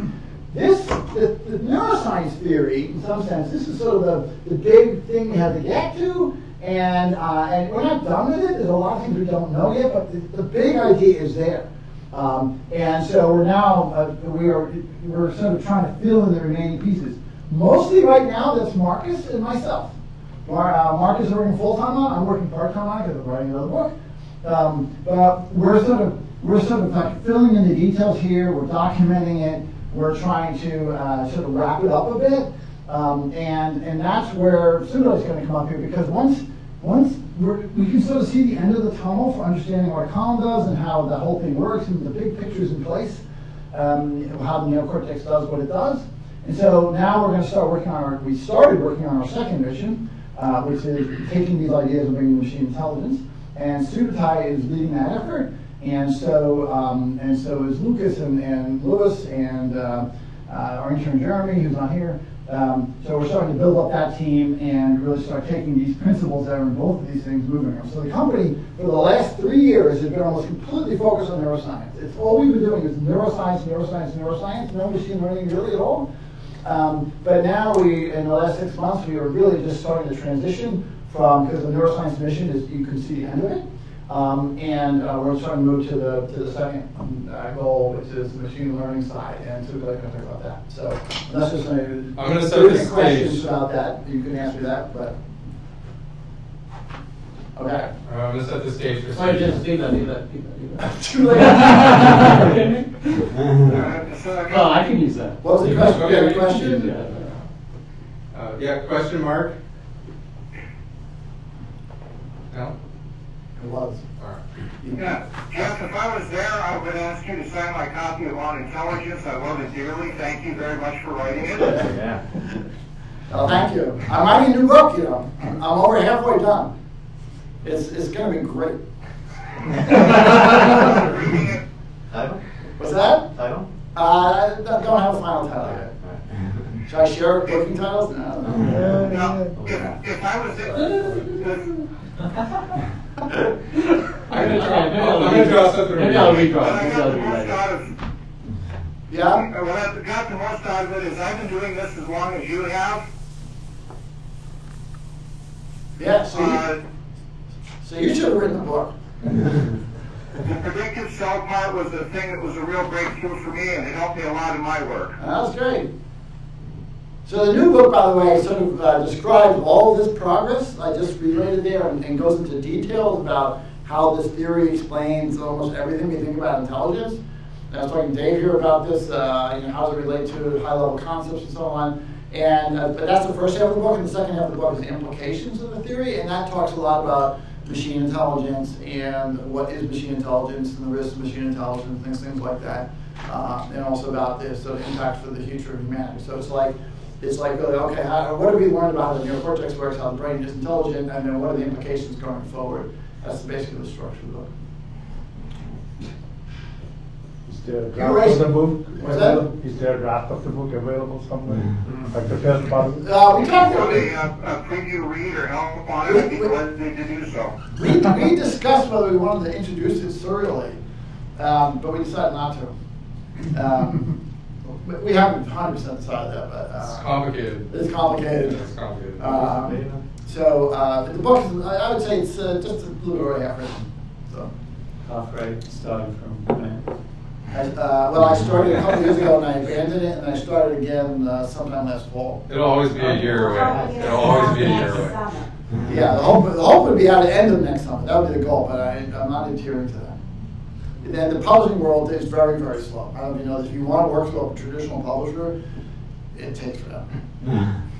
After you finish writing the book, you finish writing the book, it does not appear. It just sits there for a while. So I'm sorry I re- I erased. Yeah, you erased everything by now. I had, or, I You had just a totally plan. wanted to ignore his input. I wasn't it. So hopefully you guys recognize this. If you, if you, if you follow the trends in AI, this is sort of like a hype cycle I mean, people really thought we were really close to AGI here, really thought we were close to AGI here, and there's a huge amount of people that really think we're close to AGI once again here. And I think most of us that have, that have paid attention along here sort of have anticipating what's about to happen here. But the thing I want to, sorry? All right, anyway, the thing I want to point out here is I wouldn't put what we're doing on the same continuum as this. This is sort of dependent upon all of these, uh, uh, um, the neural networks of yesterday, you know, and, and, and the hype cycle that's come along with this. We, we don't think, at least I still don't think, that the weak or narrow AI that exists today is going, is, exists on the same continuum as what will eventually bring us AGI or really general intelligence. But that being said, there's an opportunity here because there is so much hype around this to try and, and ride this wave and to get some attention for the biological work that we have done for, for years and years now. Um, so and that's one of the reasons why we've been focusing on the machine learning uh, ecosystem and, and deep learning systems and to try and see how can we bring the ideas that we've discovered into that world. That was my introduction to Subutai to say a few of the things that, that, that you guys have been working on in that area. Do you want me to erase this? Yeah. Gladly. If I can wedge in what, uh, what the, what the deep learning community has done is it's, it's uh, picked the bit of uh, hierarchy and actually rode that horse to as far as it'll go. Yeah. It sort of. Uh, it turns out that we think the hierarchy works differently than that now. but, Yeah. uh, But um, yeah, it's great. Look, we, we, had told, we told fans what's going on in machine learning and, and uh, neural networks. Uh, I just think they're going to need to, they're going to hit a dead end and they're going to need these biological principles. And a lot of people in the machine learning world are coming to that conclusion as well. So, um, so we're not adversarial at all. It's just, um, um, we have to come together. Right, to that. Okay. so, um, uh, so in Numenta we have two missions. One is uh, figuring out the operating principles of the neocortex. And so that's what we've been focused on for many years uh, now, just purely focused on the neuroscience. And the second part of the mission is to see how those principles, how we can use those principles to build intelligent systems. Because we think those principles should be at the core of intelligent systems. Um, and we've kind of ignored that mission for quite a while now. And there's always been this question of when do we get back to it? What is the right timing for it? And we think the timing is, uh, the right timing is actually now. Um, and the reason for that is, as Jeff mentioned, uh, there's a bunch of work we've done, and we can kind of see uh, the framework of how the neocortex works. How does what does the cortical column do? What is its principal operating functions? What are the properties? What are the kind of the algorithms and the what are the layers doing? We have a we don't have it all figured out, but we see the structure of what it is, and now it's sort of filling in a lot of the details. And we sort of felt that now that we have this structure, we can there's dozens of principles that are uh, embedded in that big theory. We can now start taking those principles and applying them to practical systems. Um, and we should be able to see dramatic uh, improvements in certain areas uh, of that. So, um, and this is where I'm going to rewrite what uh, Jeff wrote. So if you think about first the original, sorry, you have to go through this all over again. Um, go ahead. so um, you think about the sequence memory on the original uh, white paper and the CLA uh, algorithms. So we introduced uh, the notion of SDRs in there. Um, sparse distributed sparse distributed representations or, uh, and sparsity in, in general. Um, we had a completely different neuron model. Um, so this is uh, much closer to what real neurons look like. It's nothing like what uh, deep learning neurons look like. Um, and within that, there's you know there's uh, concepts like active dendrites and um, a bunch of other stuff. We had um, an unsupervised. Actually, let me. I'm going to use the new term, uh, self-supervised. I used to use this term 10 years ago, and no one could understand it. Now Yann LeCun is using it, so now it's everyone's using it. So, okay, so we have self-supervised learning algorithms. Um, we had continuously learning algorithms. It's, it's very similar. Um, um, we had very low resolution synapses and, and activations, so we have binary activations. And uh, the core of all of this was to build a predictive model of sequences. Uh, so we had neurons as the, as the core, and we had, uh, as Jeff mentioned, you know, mini columns, and a way of, of and, and, along with these learning algorithms, there's something called uh, structural plasticity. So we're like, changing the network structure as we go. That's how learning occurs in the brain. These are all biological principles here. These are these are not machine learning principles per se. These are yeah. These are all coming from the neuroscience. Yeah. It's hardcore neuroscience. Um, and in fact, if you talk to neuroscientists, there are studies that show something like 30% of the synapses in your brain uh, in the neocortex turn over every few days. So there's amazing rewiring going on in the brain. There's nothing like that in, in deep learning today. Um, so this was all at the uh, core of the original set of uh, algorithms that we, we released. And with the newer stuff, there's more principles. You know, so we have a, we have location-based representations, and you know, specifically using you know grid cells. Uh, we have this notion of composite objects. You've been following along on our research, uh, of this, um, and transformations. And uh, probably sort of one of the biggest things that we've done, which we published in the columns paper, is this idea of column voting or voting across cortical columns. And that in here. Uh, this allows uh, cortical columns to very rapidly uh, infer uh, what objects it's seeing and what percepts it's seeing based on sensory data. It can do it over time and it can do it over space. And you know, sort of, if you put all of this together, you get kind of what we call the uh, thousand brains theory. Actually, you might want to, did you, did you leave out movement-based learning on purpose, or? Uh, not on purpose, it's kind of implicit Okay. here, but yeah. I just, it's Uh, worth mentioning, yeah, that the yeah. whole system's built on the idea that it's moving. You move your sensors, you move your fingers, you move your body, this is all important to the theory. Yeah, one of the most amazing things about cortical columns is that it, cortical column appears everywhere throughout the throughout the neocortex, but every cortical column receives motor information and it outputs motor information. Um, whether it's the visual areas output motor information and motor areas receive motor information uh, and sensory information. So cortical columns are inherently sensory motor, and your entire brain is sensory motor at a very deep level. There's really no such thing as a motor area and a sensory area. Everything's a sensory motor area. So this is really key to, to everything that we're doing. So then there's the thousand brains theory, which kind of redefines how the neocortex works and it redefines how we think about hierarchy and how multiple cortical columns are connected together.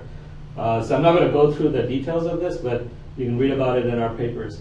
But if you kind of step back and take a look at this, these, there's a, a huge, rich roadmap of things that are not talked about at all in deep learning that are built out of solid neuroscience principles, uh, built out of studying the neocortex. The neocortex is the only, really the only thing that we can all agree is intelligent.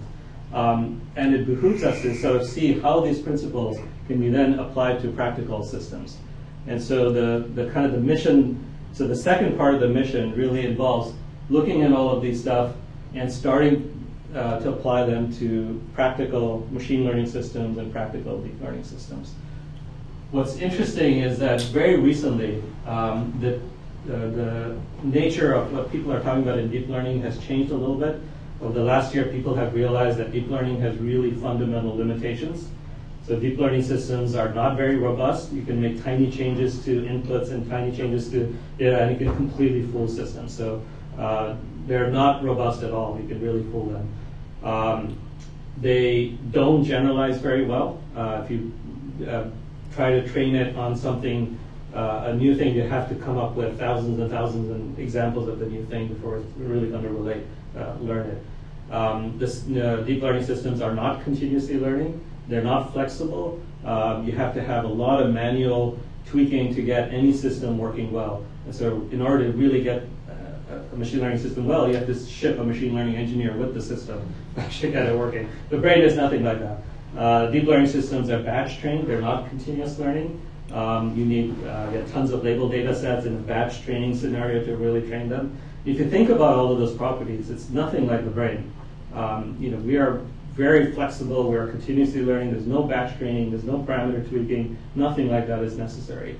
So I think these principles are at the heart of getting deep learning systems and practical systems in general to work in an intelligent, to be truly intelligent and flexible um, and, and embedded systems in, the world. So that's basically the, the mission that we're on. Um, uh, and, and that's how we're doing the second half of the mission is starting to apply these things to, to machine learning. Um, so far what we've done is very simple. We've just been doing this for a few months. Um, everything that we do is dependent on sparse representations in SDR. So the first thing that Luiz and I and Lucas have been worked on is of looking at sparsity and SDRs and how that can be incorporated into machine learning in the same way that we think it's done in the brain. And we made a lot of really good progress on that later and uh, recently. And so we, um, that's kind of what we focused on. The next step is going to be picking up some of these other things and starting to incorporate them. And it's going to start getting, I think, pretty interesting once we do that. So that's kind of. So we're, the- we're not we're doing these all at once. We're no, we're not doing this all at once. We're a small company. Yeah.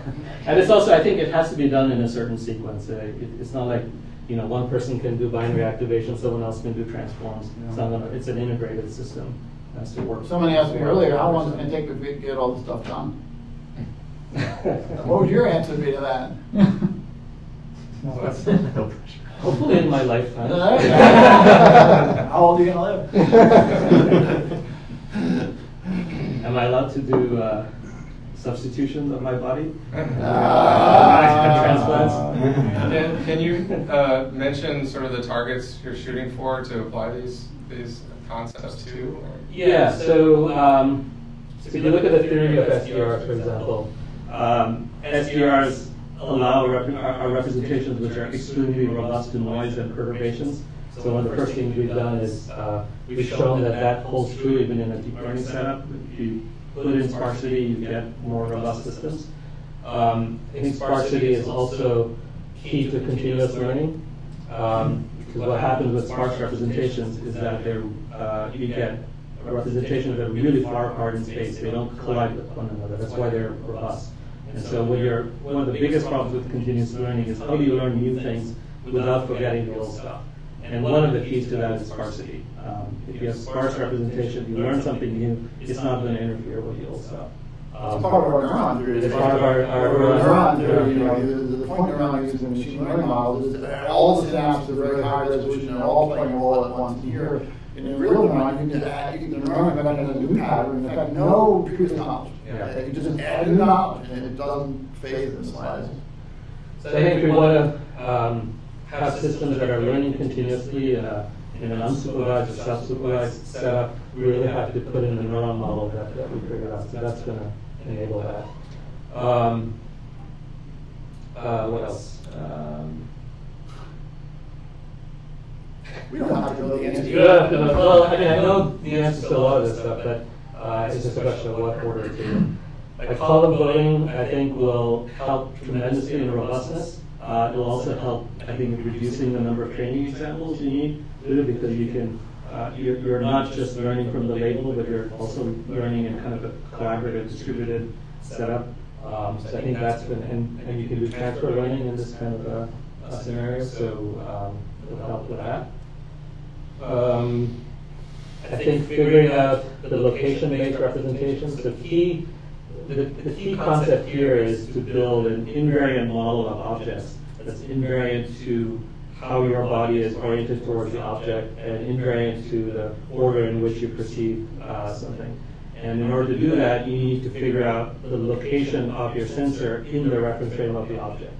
Um, so that's basically what this is. And if you can figure out uh, how to represent objects in this invariant way, you can actually learn very, very quickly. Um, you don't, once you have a, you just need enough information to build an invariant model. Now you don't need to see the model in all of the different positions and you know, rotations and translations and so on. So you can really dramatically reduce the number of training examples you need. Um, you can build a very rich predictive model. Um, and this is also key to I guess it's so related. It's hard. It's key to um, having uh, you know, integrated sensory motor stuff and, and, and making movements. And if you know, if you have an invariant model and you know how your body kind of relates to it, and you want to make changes to it, um, you can do that. Uh, you know, once you have this kind of model. So there's, there's a lot of different kind of capabilities uh, that you get out there that are hard to do in, in deep learning systems today. Any, any questions? Yeah. Are you, are you talking about non-sequential style machine learning? Like, uh, No, no, no, no, not necessarily. Uh, so, um, you know, the, the, the thing that we really, in order to get self-supervised learning working in a continuous framework, uh, the essence of it is to build a predictive model of what's happening. Uh, so again, just like Jeff said, there's two ways that you can have sequences. Um, and, and in both of those cases, uh, these properties allow you to build predictive models. So you need, it really applies really well to screening uh, sequential kind of scenario. And that's where a lot of this stuff was focused on, temporal sequences and uh, So if, if these are all things that generally happen in the context of sort of temporal sequences, Yeah. and so much of ML is kind of just single um, classifications or those type of problems, are you expected to be able to still borrow some of the mechanisms on non-temporal? Yeah, there- there's, um, yeah, we'll just take the best of what's out there uh, to the extent it's applicable. Just, but also just think about, what are you doing image classification, right? Um, the way you do image classification, the way your brain does it, is a sequential process. You attend to the different subcomponents of something, and as you attend to them, you're, you're, you're essentially creating a stream out of nothing. There- there- There's object you're looking at, like painting is fixed and you're fixed, but you're moving your sensor over that object. So this, sensory motor interaction, you turn that into a temporal stream, and then you learn the structure of the object using all these principles. So even something you might think about is just like image classification, and you think it's a, a non-temporal problem, uh, will uh, amend itself very well to these theories. Um, and so that's, um, but you know, ultimately, the, the field of robotics and the field of AI are not separate problems. Uh, so, uh, but even something like simple like recognizing an image is a, is a sensory motor problem in terms of the brain. The brain you can recognize, but right, you have to learn that way. You have to learn something by attending the different components and moving over time. After you've done that, the voting system allows you to recognize without it. In a single presentation. that's, that's one of the beauty, one of the big things we have to figure out is how you can recognize something in a flash um, without movement, when movement is so inherent to the nature of learning, and the voting system answers that question. Um, it shows how that happens. But learning has to go through like, oh, if I see a new, this object, gonna, I've maybe seen a lot of Coke cans, and I know what it is, and I know it's gonna have a label, logo, and I know it's gonna say certain things, it's gonna have a nutrition label. The first time I had to learn that, I had to look at each one of those components and read them and see where they are, and build up this model, now I just, done. I have a question. What, what's your latest thoughts on attention? You talked about that a few times. I just was talking about that in some sense. Um, um, the attention is literally attention is, is, is the process of, of um, sort of recognizing subcomponents of your space around you, or subcomponents of an object. Uh, and as you attend to different components, you can actually build up a composite object. And so that's the, the basic structure of what, how we think about attention here. And Matt and I did a little recording about that. I about my thal- thalamus theory. Yeah, the podcast on the thalamus. Yeah, that's related to that too. You might find that interesting. So in the brain, we think about the thalamus is involved in this, and uh, the interaction between the neocortex and the thalamus. And so when we think about attention, I, I've been focusing on that biological mechanism, um, which most people believe is involved in attention. And so we have a theory about how that works. Um, it's it's the structure of the theory about it. Um, and so it's going to be very, important we get to these composite objects um, components to it. You know, many of these pieces will fit in and will be a, a key part of that. Um, if you think about, maybe one way to think about if you have a, a fingertip and you're trying to recognize an object by moving around it, um, you know, that's a sensory motor inference problem, uh, moving around. Uh, that's very analogous to having your eyes saccading around an object and recognizing it uh, through, through motion. Um, and that's a kind of overt attention mechanism. And then there are internal me- attention mechanisms that dynamically filter out different subcomponents of the space. And that could be very analogous to your finger moving around. It's, it's like it's an active process. Uh, it's a sensory motor process of, of figuring this out. I guess I was thinking about attention a little bit differently, more in terms of, say, you're looking at a scene, and then you focus on one thing in that scene because, say, somebody's got a gun. Yeah, so that, that question is, that's more of an issue of saliency, right? Um, but it's the same process. I mean, you are looking at a scene, and you, it, it, I've come to understand that as you move around the world, you're constantly, every second almost, you're attending to different things. I'm looking at you, I'm looking at you. And as you do this, you're building, you, you're literally, the cortex is learning the structure of those things you attend to in order. I now have an impression of where you are in this room. I didn't have a second ago. I know, you're just constantly building this structure. Now, does, that is what attention is all about. The second question you're asking is like, oh, well, why would I tend to one thing versus another? Why? And so there is this issue of saliency, why certain things you might jump out at you and say, oh, I need to attend to that um, and focus on that aspect. Um, that's sort of a separate meta layer on top. It's like saying, okay, I'm going to attend to things in order and build the structure of the world, why would I attend a certain subset? uh, more than others. I could I could focus on the structure of the ceiling right now as opposed to you in this room. I could oh look, we have three top four tiles up there. Oh look that projector. Oh one of the light bulbs is out. Um, you know I didn't do that. Why? Because this is more relevant right at the moment. But I could have done that. So a separate question is, you know, if you're going to learn the structure of the world through movement and through attending, which parts would what meta uh, algorithm am I going to use to decide which ones to do? And that's kind of a little extra layer that the basic theory doesn't care about, uh, you know, the structural learning part doesn't care about. I mean, obviously, I used to use the example of someone, you know, if someone, you know, had third eye or something like that, you go, oh, yeah, you know. you can do that. But it would be part of general intelligence, right? Well, the, the general intelligence is learning this framework of the world, uh, learning the structure of the world. So this whole attention in, and through time is uh, core to it. The saliency part is really more of a biological need, maybe. Uh, you know, what, would I tend more to someone of the opposite sex, or would I tend more to food sources, or would I tend more to things that look like danger? Um, that's not really part of what general intelligence is. That is just biological functions that are important. So if I'm going to build a model world, my biological body says these are things that are more important than other things. Um, but I don't think that's just part of the, the, central goal or understanding what a model of the world is. It's just like, oh, how would I put some various uh, um, values on certain things that are more important than others? You, you mentioned a gun, but we have, we have built-in mechanisms to recognize snakes. This is this isn't the old brain. This is not you don't have to learn it. You're born with fear of snakes. So you know, okay, that's important for biology. but um, but you know, is it important for general intelligence? Not really. You know. Um, going back to your example, you said you're following the phone. Mhm. See it's a phone. Let's say you want to find the power bomb.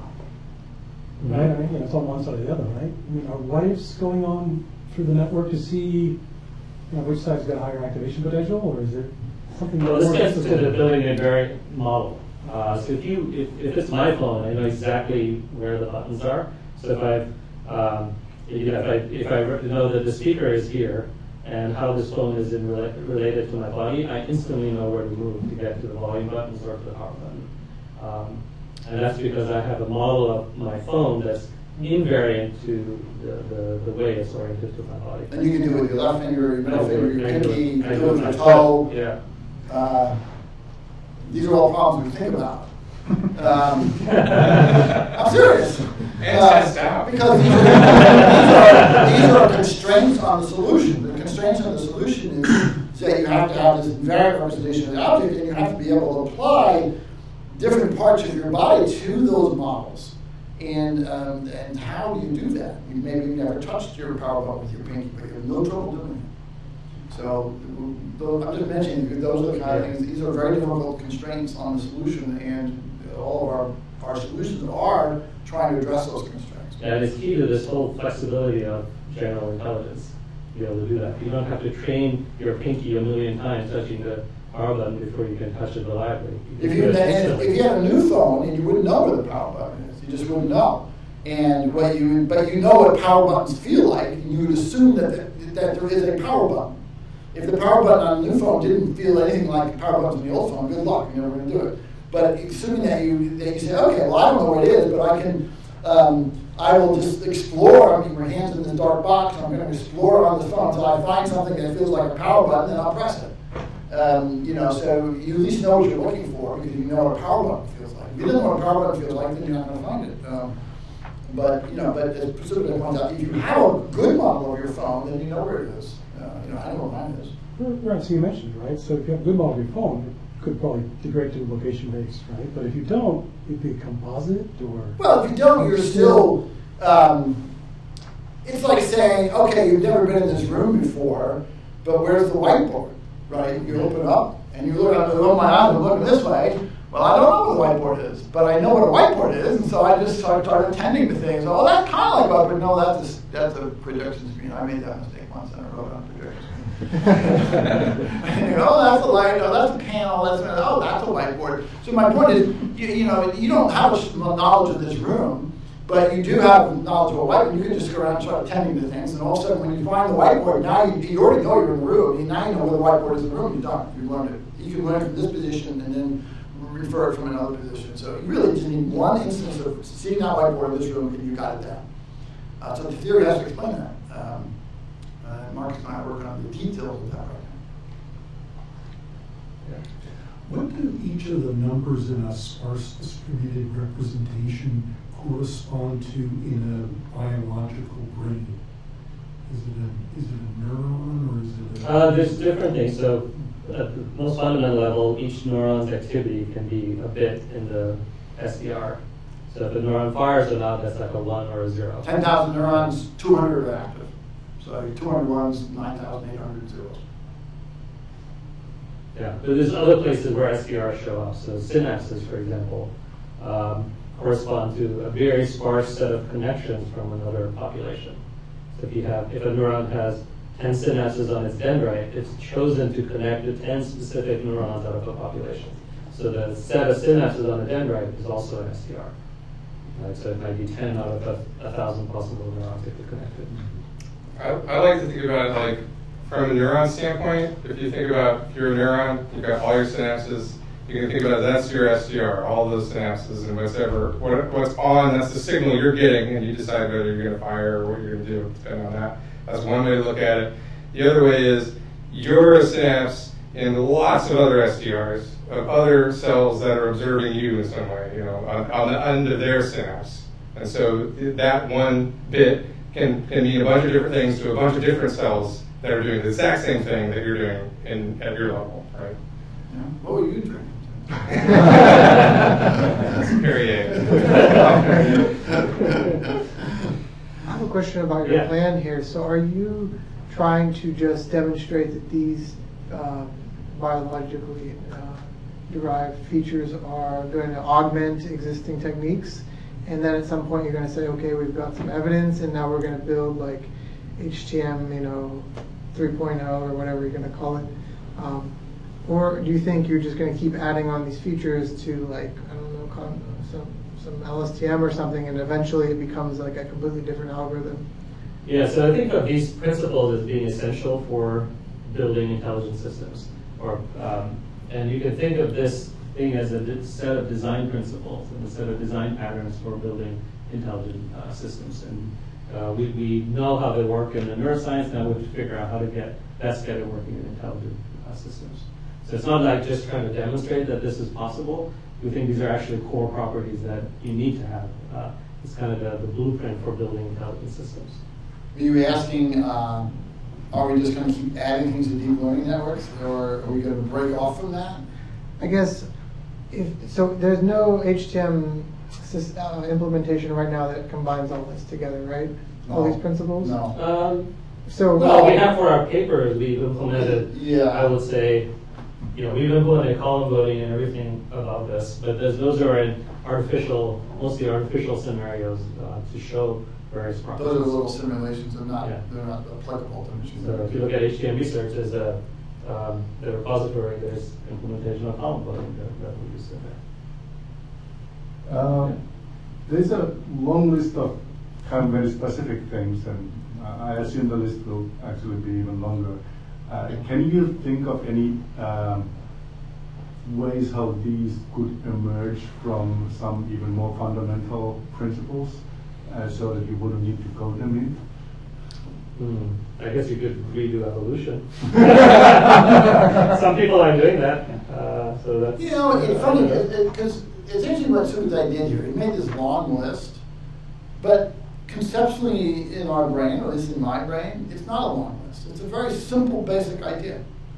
And then it's about modeling the world through sensory motor movement using reference frames. And that is like this fundamental principle. And then you can piece apart these individual components.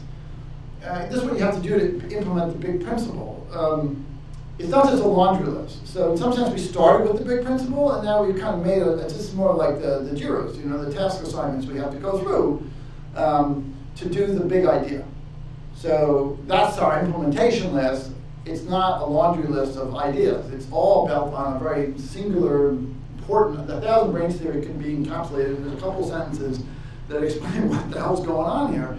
Um, and then this is our tasks we have to go through um, to do these things. Um, so it doesn't. It, it may appear to you like some ad hoc list, but that's really not the way it started. It It started comes from the neuroscience. It comes from the big ideas in neuroscience. We're a theory group. We, we just go for these big ideas, and then you say, okay, well, can I implement that big idea? These are the different parts that are going on. So all this stuff corresponds to real things in the neuroscience. Um, every one of these. And so we can talk what cells they are, what connections they are, what the physiological properties are. Um, and um, so I don't know. It's it's um, it's just what you have to do to get there. Um, I don't think at the moment. I think if I think about your question very quickly here, I don't think there's a shortcut. Uh, I don't think you can. these will disappear. Um, it, it, this has been one of the surprises to me. You know, neural networks are pretty damn simple. They're really simple things. And there's something attractive about that. But the brain is really complex and messy. You look at, you know, a cortical column, 100,000 neurons. Those are, those are 100,000 neurons are divided into maybe two or three dozen different types. And, and they're, they have all these different properties, and it's like, this is not a simple thing. And what, what maybe what's been really most surprising for me the last few years is to realize how complex a function it actually implements. But we're very confident in it now. So it's like, oh. When, and then when you think about it a bit, and other people thought about it, we now realize other people realized this a long time ago too. We were just talking about some papers from Geoff Hinton this morning that, that Marcus was reviewing, that he wrote in 1981. And he talked about almost, well, he talked about a bunch of these things. These composite objects, the locations, transforms. He didn't talk about grid cells, he didn't talk about neurons. But he went through this very complex thing saying, in 1981, this is what has to be happening. So, um, you know, that's what it is. There's no shortcuts, unfortunately. Uh, but at least once you get this done, you just make lots of copies of it, and then you're, you know, the future of hardware implementation of the brains is you're going to have something like a cortical column, which is a pretty complex thing, but it's not that big. And, uh, and then you just make thousands of copies. Yeah, it seems very tractable. You don't need to understand the whole brain, you just need to understand 50,000 neurons. Yeah. How it works, though. You just went from 100 to 50,000. That's, that's better. We're making progress already. I said 100, you said it is probably more like 50,000. Question. Uh, where does the data from the hippocampus come in? The data from the hippocampus. So uh, I think if, if, you talk about connections to the neocortex, uh, it's... Is that what you're asking? Yeah. Because don't you need to get information from the hippocampus to make decisions? The hippocampus connects to a small subset of the neocortex. Just kind of what people traditionally think of the, the top of the cortical hierarchy. It sort of connects uh, to that piece of it. And um, It- uh, you know, it's not I'm- necessarily responsive, I'm- not necessary for V1. I'm, I'm guessing you didn't read Yeah. the January frameworks paper yet.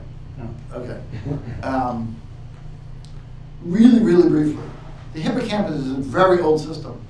It evolved a long time ago, and what it allows an animal to do is know where it is in the world, know what it did. It sort of episodic memories, uh, navigation in spaces. It's it's like a complete little memory world of the, of the animal's life.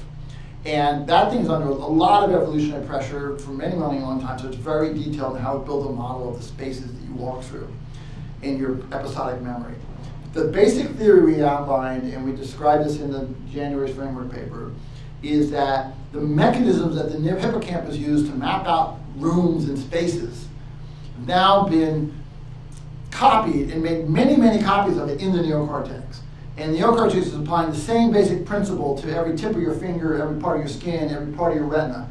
So every part of your body is like a little animal moving around in the world. Every part of your sensory arrays is like it's like a rat. The hippocampus, when you, they, they, took, they, they measure it, they put rats in rooms and they watch what happens to the hippocampus as the rat moves around the room. And what's going on here is like every part of your sensory arrays, every part of your skin, every part of your eyes is like a little rat exploring the world. That's the, the basic analogy. And so the hippocampus is not fundamentally different than the neocortex. It's just an older system that was evolved under a certain set of principles, and the neocortex abstracted it and made a cleaner version that can be applied to everything. And so they're really not fundamentally at odds with each other. And so as Subutai pointed out, people talk about the hippocampus as being sort of like one more region of the neocortex, even though it's structured differently. It's sort of like a continuum. And so it, understanding how the neocortex relates to the rest of the, uh, how the hippocampus relates to the next of the neocortex is not too much different than asking how does the visual region re relate to um, an auditory region. It's, it's sort of like a, an old version, of, you know, it's like the old, imagine you have a fleet of modern cars, you know, all electric Teslas or whatever, and then you got this 1934, you know, uh, you know, Ford something or other, yeah. And, and so that's the hippocampus, but it's kind of a car. And they, they still use gas, and they can talk to each other, and they can use the same road. Um, uh, it's kind of like that. So it's really, it's not like this is hippocampus, which is transferring information to the, to the neocortex. They're going both ways, and um, they're both doing the same basic thing. Um, it just turns out that there's far more experimental data on the hippocampus. Uh, far more. And so uh, people talk about it as this thing we know about. Um, and uh, we're trying to say, hey, you know what? The neocortex really isn't any different. It's the same thing. It's just a cleaned up, modern, spiffy version of it. Um, So this idea that you're transferring information is, is no different than transferring information elsewhere. It's really more, it's more, I would, if I were just to guess right now, it's more like column voting than it is like transfer of information. It's a good question, but. That a good question. Um, the thing that got me thinking, this the newer stuff that you guys are doing, which is like so powerful. You need, it seems like intuitively, you need more complex use cases to show that power. So you've like Mm. come in with the uh, with the cups, uh, or you recognize that it's a cup, recognizing these objects, and you have a bank of objects, and you've shown that. I think that's awesome. I feel like because you talked about maybe like jumping back into the applied neuroscience and really kind of like you know coming out there. And I wonder if there's been like a a thought effort from here or within the I don't know just with anybody of like trying to come up with a really awesome like attention getting application. Like what if like you could take principles, but maybe instead of like identifying objects, like I don't know, like I don't know, like like if you had some like somehow like a a drone that could recognize where it's at. And What would be a killer optimize- demo? Yeah. Right? What's a killer demo of these principles? Uh, is that one way of phrasing it? Yeah, That's the exactly. way we Like, that would it. really make you feel it's like like I feel like like people feel it's like like artificial intelligence is like doing like I think of it as like when a machine starts to do things that you couldn't believe a machine Yeah, could yeah, do on its yeah, own. yeah, yeah. So like you doing that with the with the recognized. We've, we've asked this you know. question here. Yeah.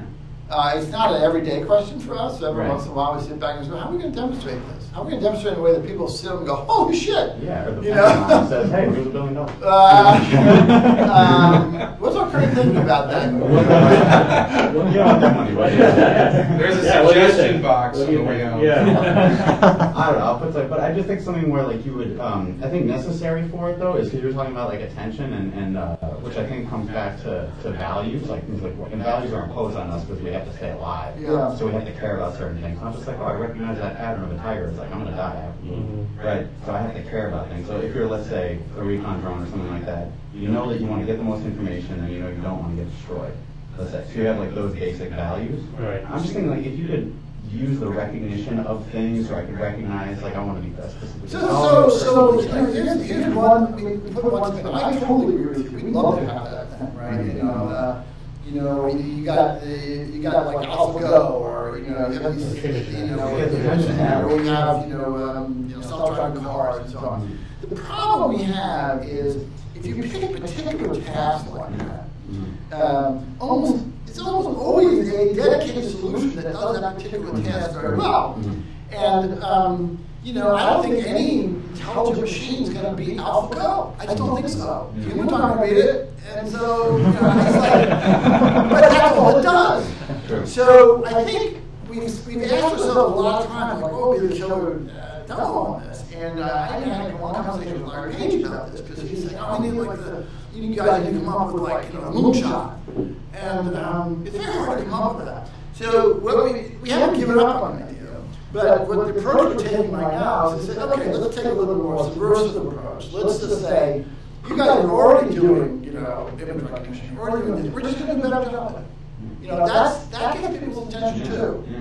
And also, yeah, and they'll say like, okay, well, you didn't solve a new problem, but you did a better job of the old problem. And even that, like sometimes I'll tell you, we don't think we can do better accuracy, but we can do better other things. We can do better power, we can do better learning, uh, less learning, we can do more robustness, we can solve a bunch of other problems that people are starting to recognize as our serious problems. And generalization. Like that was the thing about like just like in the in one of your slides about NuPIC, it's like from some time ago, it's like this domain, this domain, this Yeah. domain, no hyperparameters. Yeah, no yeah, hyperparameters. yeah, yeah, yeah. If you had like movements through space of different sorts, Yeah. even if it was like in some other kind of space, like because I know it's uh, I don't know if there's a good way of handling. I'll talk about this, like handling uh, image input and, and vision, uh, like like uh, image input to the system right now without doing some Mhm. kind of deep learning nozzle to convert it into SDR or something like that. But if it was just like a like an intelligently blind thing that could move, like I don't know, just something. I totally agree with you. We don't, we don't have a lot of uh, DNA here Numenta that's good at that kind of uh, demo thinking, you know? Mm-hmm. Um, I've never been good at it, um, you know, uh, I'm not speaking for other people, but I don't think we really have a lot of detail. Some people are just really good at coming up with just, you know, killer ideas, even if they're good or not.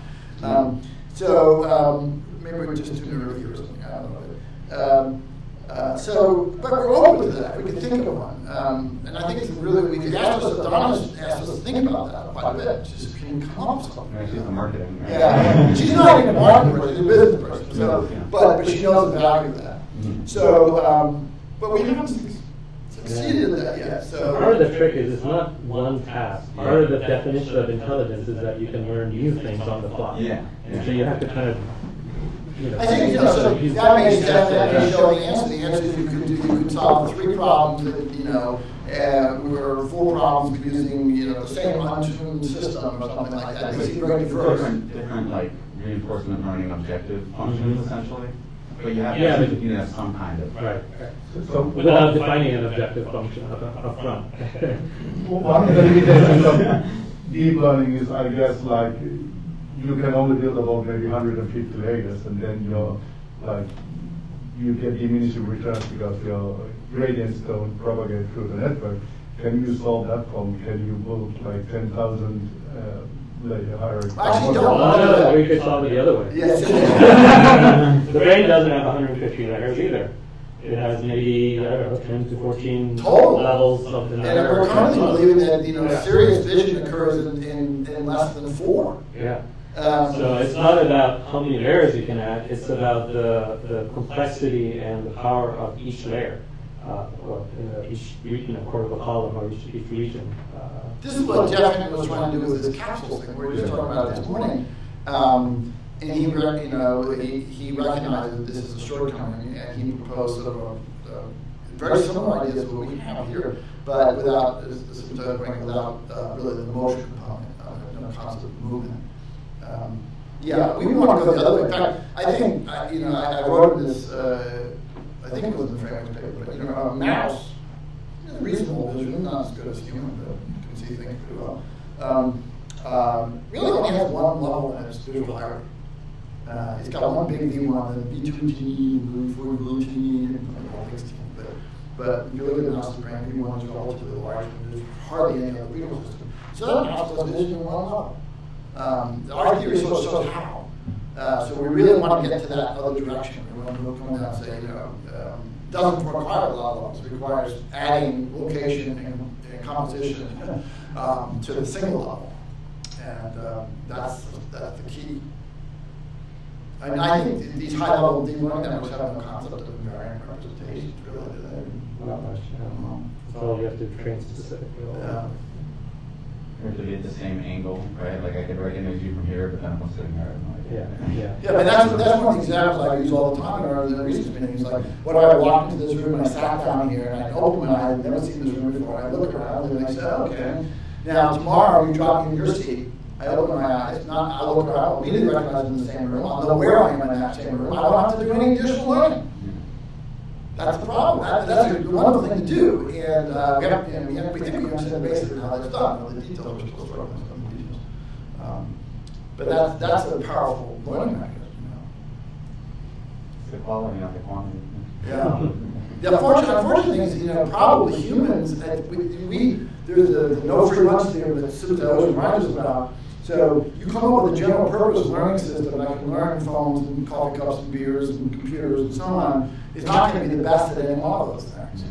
And, um, so that's, we gotta get out of our mindset, that we're gonna beat people that, you know, go, or beat people that, you know, driving cars, and not, you know, anybody's gonna, or Tesla or someone's gonna build better driving cars than any general intelligent human would be. Um, so it's really gotta go to that general properties, Yeah. we gotta focus on that. It's like why they went with the computer, like I said, one.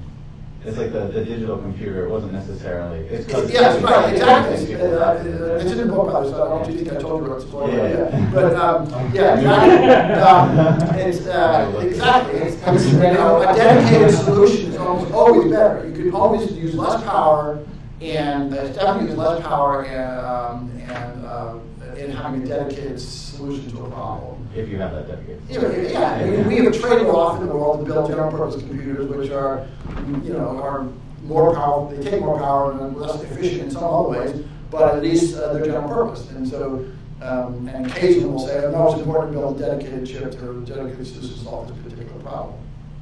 So, same thing here, we gotta focus on that generalization somehow. Yeah. In psychology, people often talk about a left brain and a right brain, and I'm wondering how is that compatible with the idea of uh, a uniform array of cortical columns?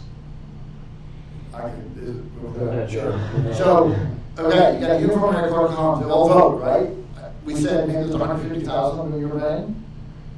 What if I cut it in half and now I have seventy-five thousand on one side, seventy-five thousand on the other side? They're still brains, they still vote, it's just now you have two small brains. Um, the beauty, that's the, the whole process of having left brain and right brain comes out of having the fact that there's a, a repetition of the structure. You can add more or less, and it still works. And so you could divide your brain into four parts, and they're all think to some extent. Um, so that, that's, that comes out of the fact that it's built out of repetitive units because the number of units and exactly which ones you have doesn't really matter. As long as you got enough of them, they get enough sensory input, it's going to work. But I'm thinking of like people who say the left brain is more logical and the. The, the only real thing you know for certain is that uh, your left brain is uh, has is the, the one really true unique differentiation between left and right brain is that language occurs on one side only in most people. Um, and there's some theories why that is. Uh, it's really and so um, you know the other stuff is a bit fuzzy. So there are differences between the left brain and the right brain. I can talk about if you want to know what they are. Um, and there are theories why that's the case, but the general theory is not the same.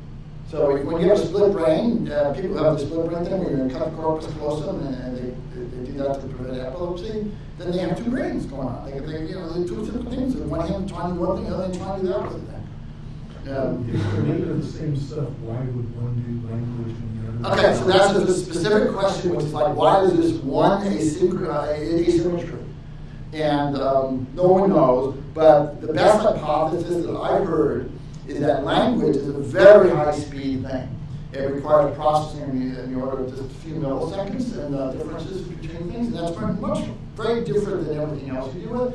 And so to get language to work, you have to have highly myelinated neurons, meaning they have to be highly insulated, and makes them work faster. Myelination takes space and energy. And you don't want to highly myelinate everything. It's like, why put all the, high, you know, I don't need high speed buses everywhere in the brain. I only need it for language. And it's very expensive from um, a metabolic point of view. So it, appears that the language areas in the left neocortex, around here, are they are they are designed for high speed processing. That's one theory. I don't know if it's right. That's one theory, but it's, the kind of reason why you might have that. It's too expensive to put it on both sides. Um, so why bother? You know. And of course, humans have language. Uh, beyond that, it's one of our unique features. So, yeah, you know, uh, that may be why other animals don't have one, is because we evolved that one extra tweak that broke the symmetry for some reason. You know. Sounds like you don't think it's too important for uh, the left-right brain thing for your theory. No, I don't think so at all. Yeah, totally not. Um, you know, it's just a convenient place. To, it turns out that the physical cortex is divided into two sheets, and there's a big bundle of neurofibers go between them, and so it's easy for people to experiment by cutting that. Um, but you know, you can you can have a trauma to one other part, in some part of your brain, and the rest of your part of the brain works just fine. You know, you become blind, but damage here, you still here and touch, you know, and you still have a model of the world. It's, it's just like, okay. Right. Yeah, thinking about um, goals. And, um, do you have in your research like agenda plans to study like how uh, you would come up with like a conceptual model of, of, of a way to add um, biases or preferences? You know, Jeff was talking earlier about you know nature as you know, evolution has built in some preferences in humans, and so if you wanted, to say, a robot to pick up trash off the street, well, you'd, you'd have to build in its uh, into it a preference to, to, you know pick up that trash and have it in the trash can as opposed to laying around. So I disagree. I, need, I feel that way. if, if you didn't do that, it seems like But you say build it in, build it in, okay? I can ask you to pick up trash on the street, and you'll do it. You know, I would do it. And, uh, and, uh, and, you know, so fine. Do you have a built-in desire to pick up trash? No, but you give them that task, you're gonna do it. Now, uh, my teenager does not. so it's one thing to say I have a intelligent machine and I give it some task or a temporary goal to pursue. There's another one that's just a built-in thing. Like we have a desire to defend ourselves, to live, to procreate, sex, things like that. Um, uh, but that's not the same as most of the things we do every day. Right? We have no built-in desire to, from evolution to study brains or, or you know, create open source projects, whatever. we To learn, I we do. Well, well, there is a thing about learning, yes. So in general, we like to learn, uh, but it could be anything. Learning is fun, it's true. Yeah. So I think we have to. You can really separate the way I the way I describe this in the, in the book is you, you think of the neocortex as like a map, right? That's a common analogy that neuroscientists use. It's like a map of the world. It's like a model of the world. Think about a map. And I can have a map of the world, and uh, the map itself is valueless. Imagine it's a map that tells me how to sail around the world. I could use it for good things, I could use it for bad things. I could use it to plunder and kill people, I could use it to trade. Uh, the map itself is not full of value and full of um, intent or emotions or desires and goals. It's just like rep- it's a representation of the structure of the world. That's what your neocortex is. It, on its own, it does not have these values. It's the old part of your brain, which is like similar to every other animal, that has those values. And, and, and it just uses the neocortex like a map. It says, okay, I want to, you know, hoard all this, you know, Bitcoin. I'm going to you know, steal it from somebody. I'm going to use my neocortex to figure out the best way of going to do that. And the neocortex says, sure, you want to do anything? Just, I'll tell you how to do it. You know, it's just, it's, I'm just a map of the world. I'm just a, model of the world. Um, Does but, it work the other way sometimes though? Like you said, um, we're born with fear of snakes. But Yeah, that's in the old brain. If you work in a snake enclosure, get used to it, and you're not scared of them. yeah, I don't know how that works. So we, it feels like experience can kind of work back the other way. You know, my wife has fear of heights, and we do a lot of hiking. Uh, and we've been doing this now together for 40 years, um, more than that. And uh, she still has fear of heights. I mean, she hasn't gotten over that. I don't know if people get over the snake thing, but I mean, all I'm saying is the fear of snakes is built into the old brain, and the old brain is flexible too. I mean, it's not without learning. The way I like to think it's like the old brain is like a crocodile brain, something like that, and a crocodile learns things. Um, so, I don't know. We don't study the old brain. So we're really just focused on what that model is, the neocortex. And there's a lot, it's, in some sense, it's, even though it's bigger, it's simpler in the sense that it's a repetitive algorithm, and the whole brain's got all these pieces all over the place that are cobbled together over time. So what I hear you saying, Jeff, maybe is that you're not really particularly interested in, in studying how to interface a goal or an agenda into this system. I think you can ask the neocortex, how should I accomplish something? I'm interested in that. Um, it's But not, learning to value things. what's that? Like there's things that you automatically value. We do as Things humans. Told you value, but then things you look like like picking up trash. It's like I have a value that I want to help make a cleaner environment. I wasn't born with that. I wasn't necessarily instructed. Well, maybe that's your guy, or maybe someone says, I'll pay you to do it, or maybe someone says, you know, do me a favor. Um, uh, I don't know. I mean, Or you could, for whatever reason, you see a documentary or two and you're like, oh, I care about this. Like you come to care about it. Yeah, okay. You learn to care. yeah, Right. but I don't think the neocortex learns. It's not the neocortex. though. I think that's the point here. I, I I mean, So it's interfacing with this caring system Yeah. in terms of it's predicting about the value. Yeah, so, It's I- not doing so when you want to build an intelligent machine, you, the, the essential ingredient is this, this model of the world, this map of the world that can be used for achieving goals and figuring things out. And then you have to pair it with some embodiment and some set of goals. Yeah. Uh, and those goals can be as simple as I want to learn. Those goals can be I just want to do what you asked me to do. It could be very straightforward. It might not really have any sort of emotional content to it. It just says, okay, you know, do this. I'll be able to do that. you know? um, but you know, ultimately, someone has to do it. I mean, someone has to decide what to do. I, I think that, we think about intelligent machines. The, the point is, that intelligent machines going to sit around one day and say, okay, you know, what am I going to do right now? I'm tired of picking up garbage, and I, you know, I want more in life. You know, I'm unsatisfied. Don't it tiredness. Um, you know, someone might try to build that, but we're not trying to build that. We're just trying to say, how would I, how would I add this ability to the model and do anything? But if you wanted to give it goals that were more general, like something, I guess that's maybe why I thought of like the recon thing, is it's like gather information from Yeah. what's going on, but you have to figure out how to effectively do that given a. I don't given know. I- I- we haven't thought about it's just- that. It's something where like, in terms of like rubber hitting the road, like putting an application out there, people are like, wow, that is AI, right? It's the kind of feeling that you, it's like, I don't know, just from a layman perspective in terms of like what separates AI for me from like really smart statistics. You know, it's like mm-hmm. doing, Yeah. being able to have these kind of. I- I'm not sure. with it. I'm not sure if it's having the goals or if it's more like being flexible to achieve various various various goals that you give it. Right, right. As, it- as long as it gets it from somewhere. Yeah, so I don't need it to be Yeah. built into the system. Yeah, You, we can sit down and say, you're, we want you to learn to play chess, and we want you to learn to drive a car, and we want you to learn to, you know, I don't know, mine bitcoins. I don't know what it is, but go for it. You know, I, I don't. I mean, we're, we're not at that. I was talking earlier about you know we're, we're not even thinking about these specific tasks. Mm-hmm. It's really about the, the whole system is about the fundamental mo- idea of model building and and how that is done, and that then is the foundation for the future. In, in the same way that people in the 1940s were, were figuring out what is the nature of algorithms, what is the, are algorithms completable or not? They weren't sitting around going, how are we going to build a GPS system? And, Right, you know, yeah, you know, yeah. Right, right, we're at that level. Um, We're not. Yeah. we're- Well, they couldn't probably conceive of a GPS. I know, and so I don't think we can conceive of the real operations Right, either. right, right. So uh, I guess I'm just saying we're, we're not even, you know, they didn't ask themselves, how am I going to do a pipeline architecture? They were saying, what is the nature of computation? What is the fundamental aspects of a Turing machine or a universal? I think we're at that level here, and that's where our focus is. It should be, I agree. Um, I just, to get more people to pay attention. There's gonna be some jump. Well, you come, come and do a great demo, you know? Yeah, we're, we're I'll make a open to discussion ideas. And you got some Ideas. talent in this area. We, we- we know. How about executive function? Isn't that a neocortex? What's executive function? Executive control. I don't know what that, what does that mean? Uh, I was hoping you'd tell me. You brought up the word. I- No, I thought that was a standard term.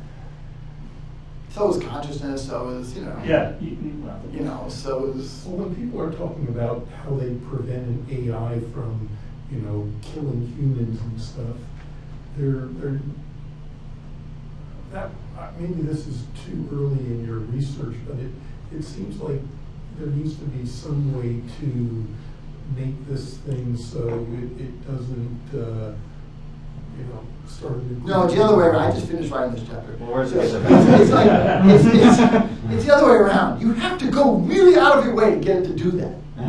It's not going to do it on its own. It's just not going to happen one day and say, I'm going to kill everybody. It just, it's, you know, computers don't do that. It's not going to do that either. You have to really go out of your way to build a system that was sinister or hated humans. Um, it's just not going to happen. A model of the world does not do bad things. A map isn't bad. But maybe an evil Intentions human are could be bad. augmented with it. Yeah, evil, human, an evil human can be augmented with a map. Yeah, or evil anything, but it's hard to actually make things evil. So, but don't do that. If, if you give a system broad goals without specific constraints, like, here's my portfolio, like, grow it. It's like, all right, I'll invest in defense stocks, start a war, you know, and then the price of this will go up. You know what I mean? Like, if you give it Could a do broad, that, yeah, yeah. it could if it was smart and it didn't care about anything except your goal.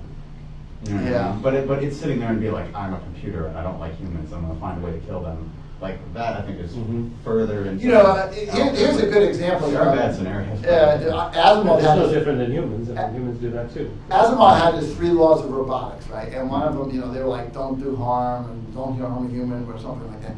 So think about a self-driving car, right? Uh, we build in some basic self-driving you know, things in self-driving car. So I, I don't drive a Tesla, but I have a car that has a, um, you know, adaptive cruise control and, and, uh, and so on. And if it detects a human, it'll put the brakes on. Yeah. Right now, that's built into the system. Right. That's Asimov's second law. Right. You know, don't harm a human. And so you got to do some basic things like that. Uh, if you do, if you built a car that didn't stop when it saw a human, that would be a pretty bad design. Right. So- So it doesn't care internally. It doesn't have to care, just to build in some You know. basic safeguards. Uh, that's where I think. We start there, Yeah. you know. Yeah. Bad prevent bad accidents. Yeah. Probably. We, we can immediate decide. We can say, hey, car, we're going to we're going to design the people detector, and when the people detector detects people, we're going to apply the brakes. We're going to completely ignore everything else that you're telling me to do. So my car will ignore my commands with the with the accelerator if it sees the person. You know, just going, I'm going to stop.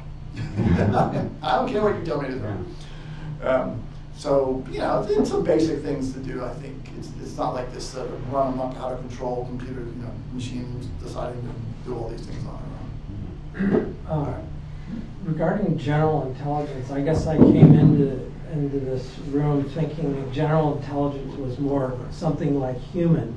intelligence. But it sounds like you're saying, no, it's much more limited. It's like a learning algorithm using these methods. I wouldn't say it's limited. I would say it's actually less limited than being a human. Um, it's a general purpose way of learning the structure of the world. Yeah. So And, and, and it could be, a- it could learn structure that you and I can't learn. Right, okay, so, so then my question is, if you implement all this, are you at your goal, or is there more? This is the base. I don't think there are any other big ideas. Uh, there's no other big thing that we're missing here, um, as far as I can tell. So this, if you can get, imp- implement that the way, you know. it There's pieces, there, there are pieces we know that are missing in this, but the framework, that, the, the January paper says a framework for intelligence, right? It's a, fra- that framework we understand. So that's the, the goal, that's the general That's intelligence it. you're You, you do all the stuff we know about, which is in this list. And, and there's many details that are not in this list, but this is the big ideas here, then I, as far as I can tell, that's it. But that's not solving for consciousness, right? No, no, no, nothing Pretty about much, yeah. it's- I, well, we can have a whole separate conversation on consciousness, but let's, let's not do that today. I just, I just today, before you guys go out, I was reading this, a new book by uh, Annaka uh, Harris, who's Sam Harris's wife, and it's a book about consciousness. Fortunately, it's very short. Uh, I almost got through it this afternoon. Um, but it's an interesting topic, but we don't talk about that here. Um, I have some very definite opinions about consciousness, but um, I actually think a system like this would be conscious, but I don't need to make that argument. Um, consciousness is very much related to continuous learning and having a continuous memory of things you just have thought about and things you just have done, constantly updating the memory of even your thoughts. Um, and so this, this system could exhibit those principles. That's like the longest thread on the forum, isn't it? That one? Yeah. Consciousness.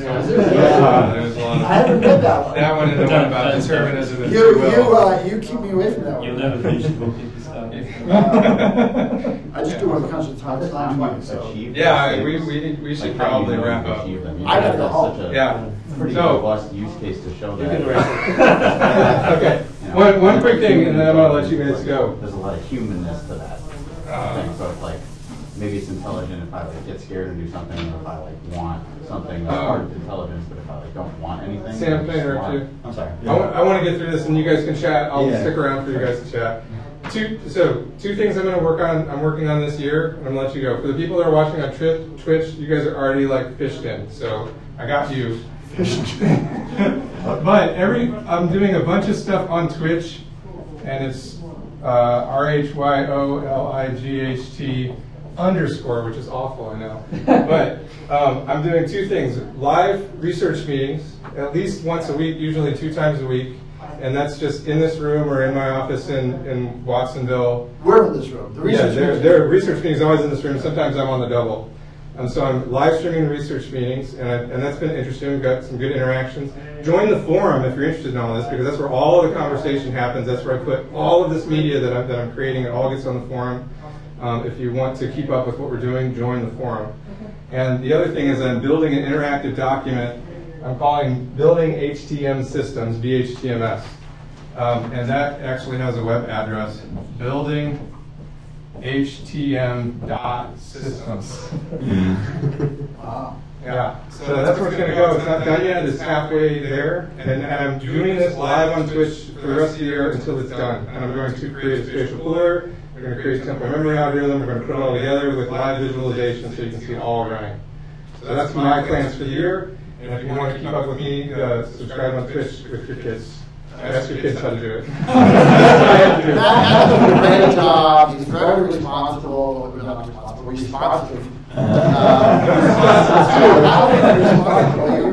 responsive, does a great job, bring ideas to the whole team, coming up with new things all the time. So he's a- he's a tremendous resource, and don't hesitate to reach out to him if you have any questions about anything. I know some of you guys need to leave. I'm gonna stick around uh, for a little while. I'm gonna leave the live stream on while people are still filtering in and out. Uh, but thanks everybody for coming. I really appreciate you being part of our That's community. great, yeah. It's great to get some, uh, some good questions. Yeah, absolutely. So thanks. up. Big round of. This concludes our events for the evening. So if you were to start something today, you're saying NuPIC is probably not where you go? um, No, it's, uh, NuPIC was, uh, you know, point in time. Um, It's not like drawing, there's difference if you could be starting with a code base that was purely derived from Oh, so that was. And now we decided we're gonna go and so just start taking things to the networks. Um, you know, that's what we decided to do. So, I don't topic of your, uh, okay, we're starting with classic convolutional networks, and models, uh, sparsely and, uh, so working with that. Yeah, yeah, yeah, Yeah, if you want to get attention, machine learning, that's what you have to do. You gotta get, Now, same benchmarks, same type of all the innovations have been. I live. Essentially, now that we have. The computer to do these things, we can innovate, we can do, let's try this, try this, try this. Um, Really good question. You're a dealer type, right? Then I'll put an app in the next page, even if it's made around the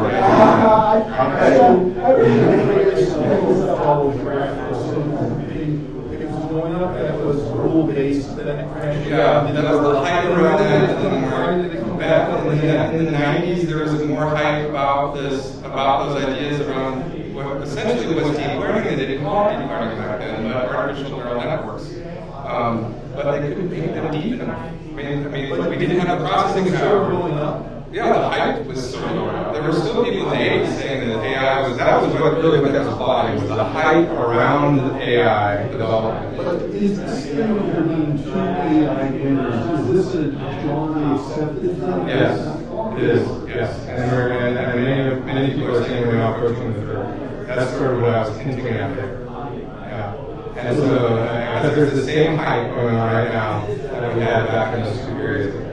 And if you look at the news articles and, and media articles that are that are grabbing on some of these details, like human needs computer X and then Y, human can perform human better at this and that. Those are all like examples of hype articles where when you go and you look at every single one of them, you go and investigate, you look at it, you see it's very, very strict algorithm that was engineered to solve that problem. Exactly. And no one's solving any problems. Right? That's just computer engineering. That's just what you do when you're when you a computer uh, So that's the core right there. And that's still that's happening today. That's why you use it. that's why everybody's freaking out about AI now. And um, but what we're saying and what we've seen for, for years and years is that that's, that's not leading to AGI. That doesn't go to AGI. Everybody's going to realize that soon enough. Catch the, uh, uh, the connection between the, how, how do you combine a neural network with HTM? We don't really combine it. Um, what you do is you take you take the neural network and you try and apply ideas that you learned from HTM into different parts of it. So there's a paper, if you really want to know exactly how how it works. It's called um, and wrote it. How could we be so dense? the name of the paper, and I forget the subtitle, but it's basically how to apply sparsity to deep learning networks. And they take, um, let's see, do you, do you understand how convolutional neural networks work? Okay, so they'll take, they'll take the, the convolution and, and uh, then they'll have like a, a max pool over uh, an input space. And, and what they do is they apply, there's three things they do. One is, is sparse weights. And I don't think they even do this in the convolution. I think they do this, you know, you put a whole bunch of layers and layers and layers and layers on convolution, um, but each one of these has some like activation. So the first thing is sparse weights. Um, whenever you've got from one unit to the next one, usually there's dense weights. Right? We cut out most of them. I mean, I cut out, I mean zero them out and keep them zeroed out forever. Okay, so that's different. That's more like, and what we're doing there is we're trying to enforce potential pools. You think about spatial pooling.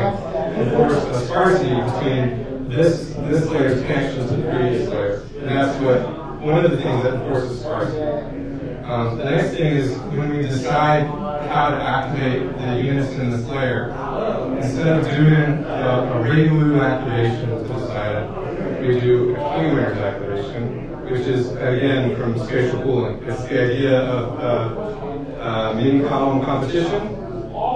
We have a group of a population of mini columns, and they all have a relationship to the input space. We're only going to take those that are the most, that have the most overlap under their representation of the input space. And those are the ones that are going to be the winners in this layer. So instead of doing the ReLU, which is really simple activation, the K-winners is the same thing. It's a nonlinear activation that uh, introduces nonlinearity just like the ReLU. You going home tonight? Yeah. That's a long drive, be careful, okay? I will. Get I'll a do cup of that. coffee or something. Yeah, definitely. After your mate. Uh, okay, uh, just be careful, okay? I will, thanks, Jeff. I'm gonna take off now, okay? Okay, take care. Yeah. No problem. I'll see you later. I'm not really understanding this KV operation. So thi- this is, it's all about spatial pooling. So is sort of the spatial pooling lesson. Say you've got um, an array of inputs. This, this could be any, any type of input, feature vector or whatever. In, in, in uh, we might call this an input space, it's full of SDRs, so some of them are on, some of them are off. But you could also consider it like a bunch of scalar values or, or like a feature vector or something like that. Um, so the uh, say we have a, bunch of cells that uh, we cut up into mini columns, and each one of these has, has cells in it. You know, this is like the idea of spatial pooling. Each one of these mini columns has a specific relationship with this whole input space. Right? Each one of these mini columns has a different um, we call uh, perceptive field or potential pools. It can only connect to some of these, and they all have like a, a different potential pool of connections that could. The K-winners idea All different or any overlap? there's lots of overlap. Yeah, there's lots of overlap. So you'll have redundancy throughout. Um, so um, as these turn on, um, these guys will turn, some of them will activate if their connections that they have to this space are happen to be overlapping with the activations in, the, in that space. Yeah, that's, that's basically we're simulating proximal dendritic connections from this space to these cells that, that have this similar pool of, of potential connections. So is the K the number of bits that have to be turned on to fire this? Not quite. I'll get there in a minute. You gotta, gotta go one more step. So you imagine all of these mini columns doing this at the same time. The, the input activates, uh, lights up. I'm, I just did this on Twitch like two days ago. If you want to follow me, I'm doing visualizations of this right now. Um, so if, as this lights up with an input pattern, um, you know that some of these are going to be selected, a certain number of them, K. That's the K part. A certain number of these mini columns are going to become active based upon that, and it's always the same. We keep it the same. That's how it introduces sparsity. It takes, no matter how many bits are on in here, the same amount of mini columns are going to be activated. That's one of the things spatial pooler does. Um, so to decide uh, how, which ones of these are going to become active, it, we call this a competition. They compete. So we, um, the ones that are active, they all have a certain amount of overlap or theta with uh, their receptive field and the actual input. So each one of these has a count, basically how well they match the input. Let's say one, some of might uh, have 44, 44 of their, their connections are on, another one is 43, another one's 42, blah, blah, blah, and you just stack rank them like that, right? So at some point you draw a line, you decide how many of the cells do you want to be on in this population, how many of those mini columns, and that's your sparsity. So we typically say 2% of these, and we draw the line right there. That's K. Whatever the, the number that we decided that basically equals 2% is K. So we're going to take the top K, and they're the winners of this competition to represent the information in the input space. Makes sense? So there's sparse representations are all binary, this is just the numbers in here. Yep, these are just, no, there are weights. The, the weights are in these, these connectors. So these are all weights. So it's a No, so the weights, we never sum the weights, we never calculate the weights. The weights are memory. The weights are where memory is retained about the bits. Um, and we only use the weights to decide whether the bit's active or not, whether this is responding to it or not, whether this synapse has been created or not. There's a threshold there. These weights all represent a synapse. You think about a synapse like this. There's potential snaps, but they, they grow closer, they grow closer, as you learn, they grow closer, they grow closer. At some point, we say this synapse is connected. Information flows through there. So all these weights are representing how close the connections are. And so at any point, you can look at the ways to calculate, oh, okay, this connection is, is, is open, this connection we're going to ignore, this connection we're going to ignore because the permanence is extremely low. But you don't get like a partly open or partly closed connection is either closed or Binary, open. binary, right? The, the weights decide whether it's going to be um, even observed or not, whether that bit, that on or off will be observed or not. They're learned, so you'll have some of these columns that start to grow in affinity towards certain cells, right? Because uh, that's, that's just the way they work. They'll, they'll, they'll all start to sort of focus in on different areas of the spatial patterns of the input, and some will get better at detecting certain things. That's they're doing little feature extractions. And you can't tell, you can't look at this and see this activation and be like, oh, that represents feature X or feature Y.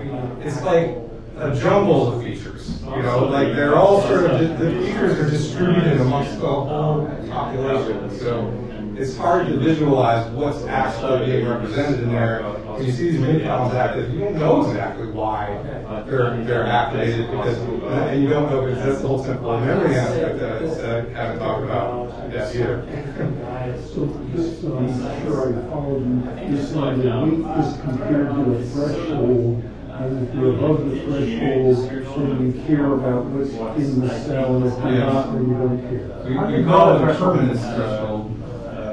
We call that a permanence threshold. Um, basically, and we'll, you know, we, we just say, okay, it's 0.5 or point whatever, and we'll use that across the board for all of these. So if any of them are over 0.5, we'll call them connected. So it seems like there's a normal back propagation, I mean, does that even work with this kind of? No, not, not at all. It's not, this has nothing to do with back propagation. Back is uh, biologically, um, seems to be really, would be really hard to explain in biology. This is about localizing. You this, is, uh, you have to think about this as being a local area of your field of view, right? How do you, how do you kind of weights? Ah, so that's, that's a part of, uh, that's the learning part of the spatial pooling operation. So once, once you get, uh, your, your set of spatial pool, uh, set of active columns, then you take these active columns and you reinforce them by increasing the permanence of the ones that, that that won the competition.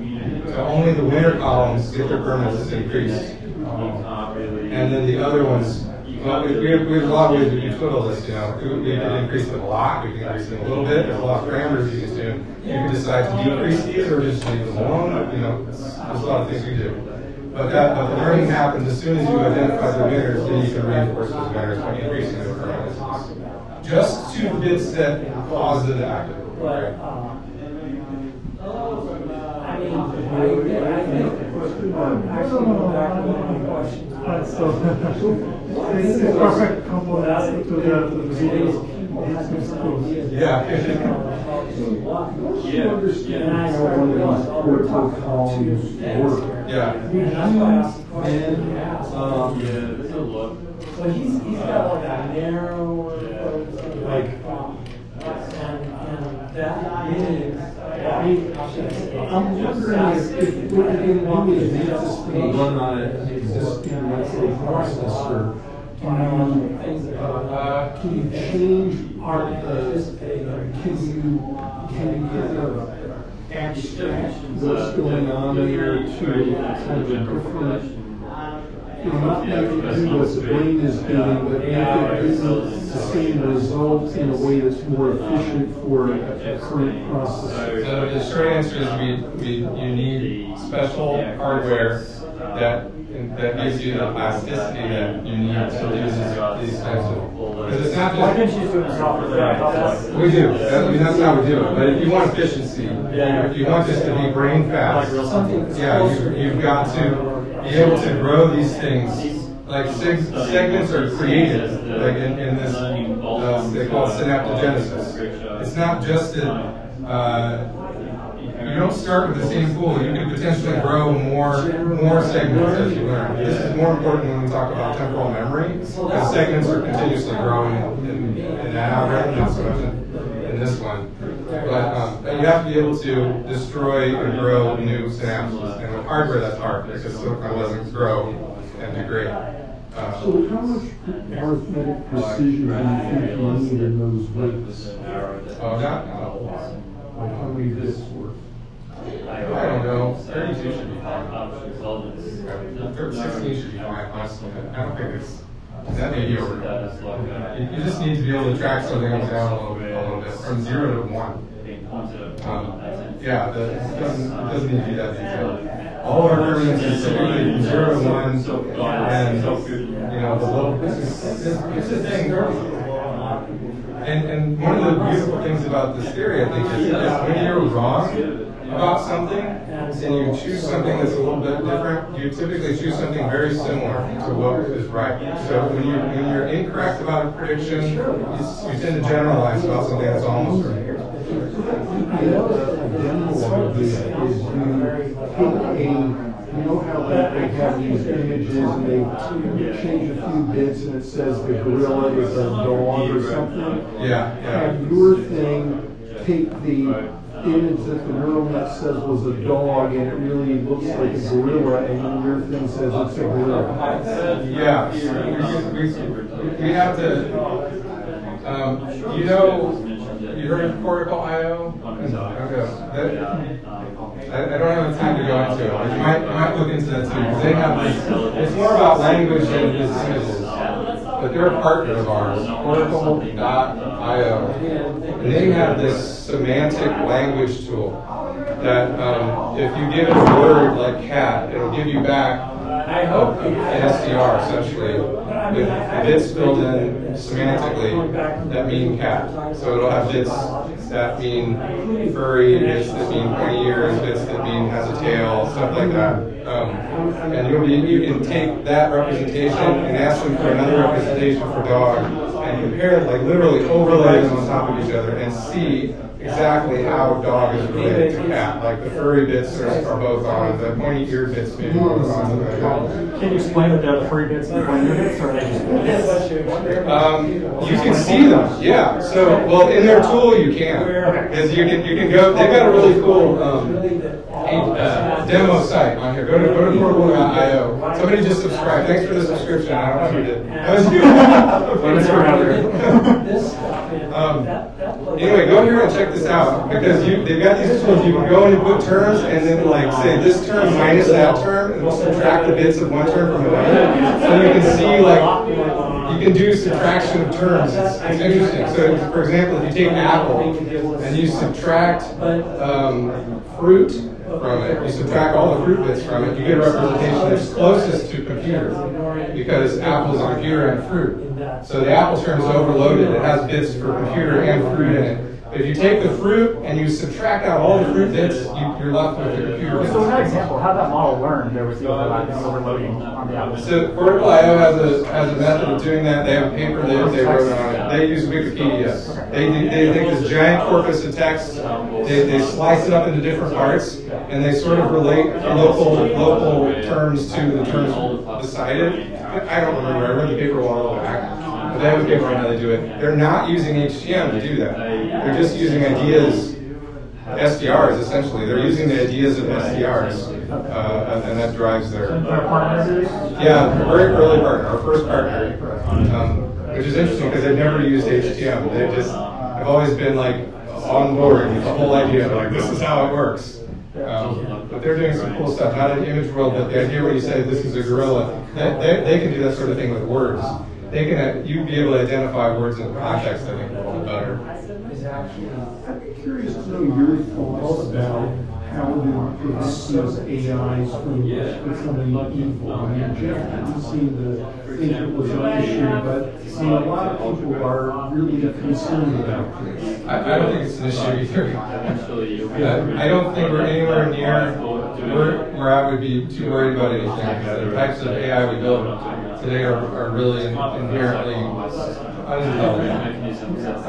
I'm more afraid about the augmented people. Yeah. If, You know, I suppose. people. So I'm not against regulation of AI if we see something that's, but most, a lot of the, a Not lot- generalized, augmented to, to become evil. Yeah. So artificial intelligence, like using the technology Ah. to become the kind of superhuman. Oh, then yeah. people can be Yeah, evil. people can be evil, yeah. Much, much, co- much, uh, yeah. Using it as a weapon, the mere person Yeah, but the technology, it's like, Just as a, a a PR thing, I, I don't think it would be, you know, good PR to say, we're not worried about this and we don't care it's ever gonna be a problem or, I mean, it just, people will freak out. Well, not that it won't ever be a problem, but there's, but I don't, I think any effort that we put into regulating AI software at the moment is It's not misled. regulation, I'm just talking about, if you're gonna make something that you hope will be an artificial general intelligence, Yeah. you want to at least like,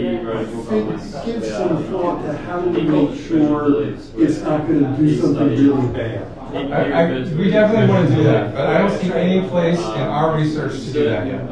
There's no danger that I can see of anything like that happening yet. Um, five, ten years maybe, I mean, it's something that I would definitely keep on, keep an eye out for, but we're not any place where I would let anything have any autonomy to go make any decisions. You know, we're, we're just working on sequence prediction and, and mapping objects right now, you know. the the example the guy that was sitting there gave, I thought was very good. You can easily imagine someone wanting to use one of these things to make money in the stock. Yeah, So yeah. they trained it to do trades Yeah. and, you know, and then if it has any ability to, for example, post things on the internet. But what's the difference between that and a simple rule-based system that a human would write that could do the same thing? Well, because this would be faster, this might be smarter, this might be. Well, But, but the same human could, could write a system and inadvertently do the same thing without any oh, of this. Oh, they- they screw- I mean, this is actually half flash crashes in the Right. stock market where someone, you know, screws up. isn't it? Yeah, yeah, no, I've- I've read about of that. But I'm just thinking, you don't, you don't want to get in a situation where you, you, if someone is taking your artificial general intelligence, apply it to the stock market, and then it does something, you know, very bad in, in the stock market or in uh, the real world. Maybe I have one more concrete questions regarding vehicles. About the size, how is it defined the size of vehicles? What what is the flexibility? Oh, as many as you want in a, in in column, but at- at the more you add to it, the more computation it's going to require. The, uh, the, the memory? The computation is in the temporal memory part of the algorithm. And for spatial pooling, it you, you can pretend there's nothing in here for the spatial pooling part. These, these bits are just for, me- for temporal Yeah, memory. yeah, that, uh, that's, that's what I'm asking for, so, it's, see any limits or? How big should this structure be? Yeah, yeah. Um, What is the effectivity of this? No, there's, there's limits, so we typically make them two thousand mini columns, and we've never had to make them anymore, for any of our. I don't think, I don't think we've ever done anything bigger than that. Uh, but it depends on how big the space is, I mean, the bigger the space, this space is, I- theoretically, the bigger you'll have to make your, your space. But once we get to these parallel, you know, you're gonna have one section of cortex processing a section over here, and then another beside it potentially processing another section. Yeah, that and could be it's some. beside it. There might be a little bit of overlap layers there, yeah. to cover the- ah, I- So I was just afraid if there is any, any, I mean, uh, computational. We were trying to tangle So are these things related to those hundred fifty thousand cortical columns, or is that totally different? Um, they're sort of related, but they're different. They're different things. Here's I would draw. Here's a cortical column. Say one is 150,000 or whatever cortical columns, and and this is separated out into layers.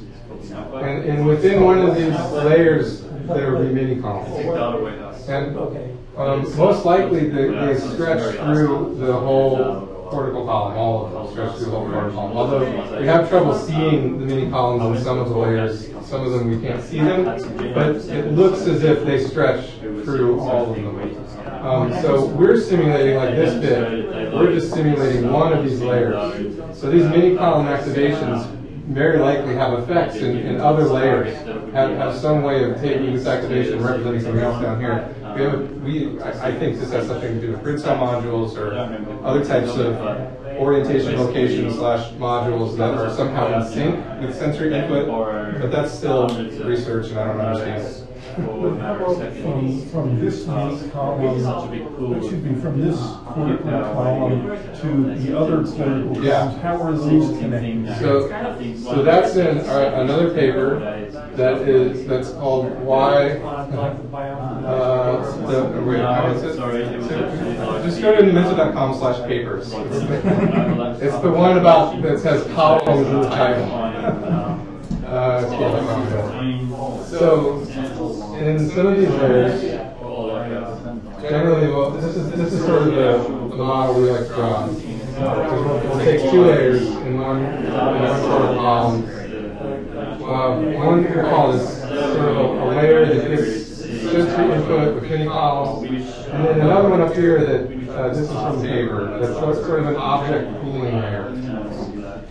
And, and it's based on movement, in this case, and this represents like location and sensor input, and this is where the, the permanent object is represented over time. So for example, as I move my finger through this object's reference space, I'm feeling the sensory, sensory information and location information is processed here. An object representation that represents an eraser as I'm doing this is in another layer. And this is happening in, in every cortical column, even the ones that aren't directly involved in sensing this. Like this, this cortical column is, is also part of that representation. And I know what it feels like do that. I know what all of I know what this, all this would feel like.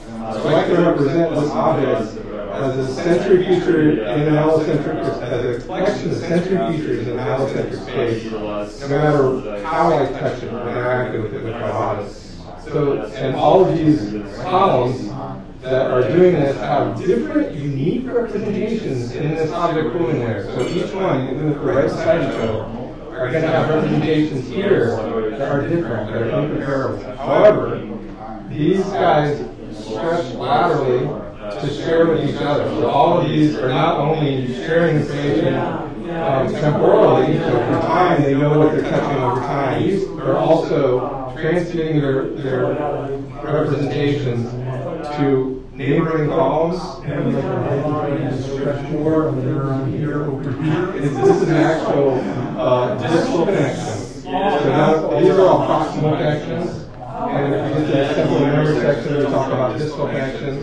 Um, typically, temporal memory means a distal connection back to itself, back to the same layer. So these are contexts to the past, right? Because this connection is leading to a connection that existed before in the same place.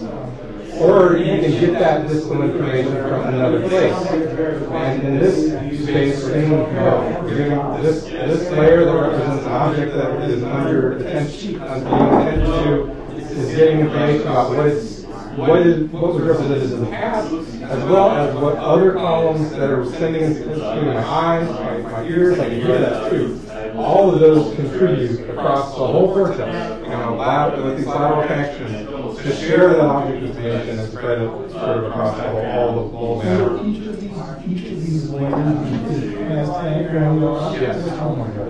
Well, each of these cortical columns has it going on, and, this, and we think the same process is happening. There's there's two of these loops. We don't know all of this, okay? But this is this is one one loop. There's another loop like right here. that does almost the exact same thing, where there's an object representation here, and then there's a, a very transient representation here. Think there's probably The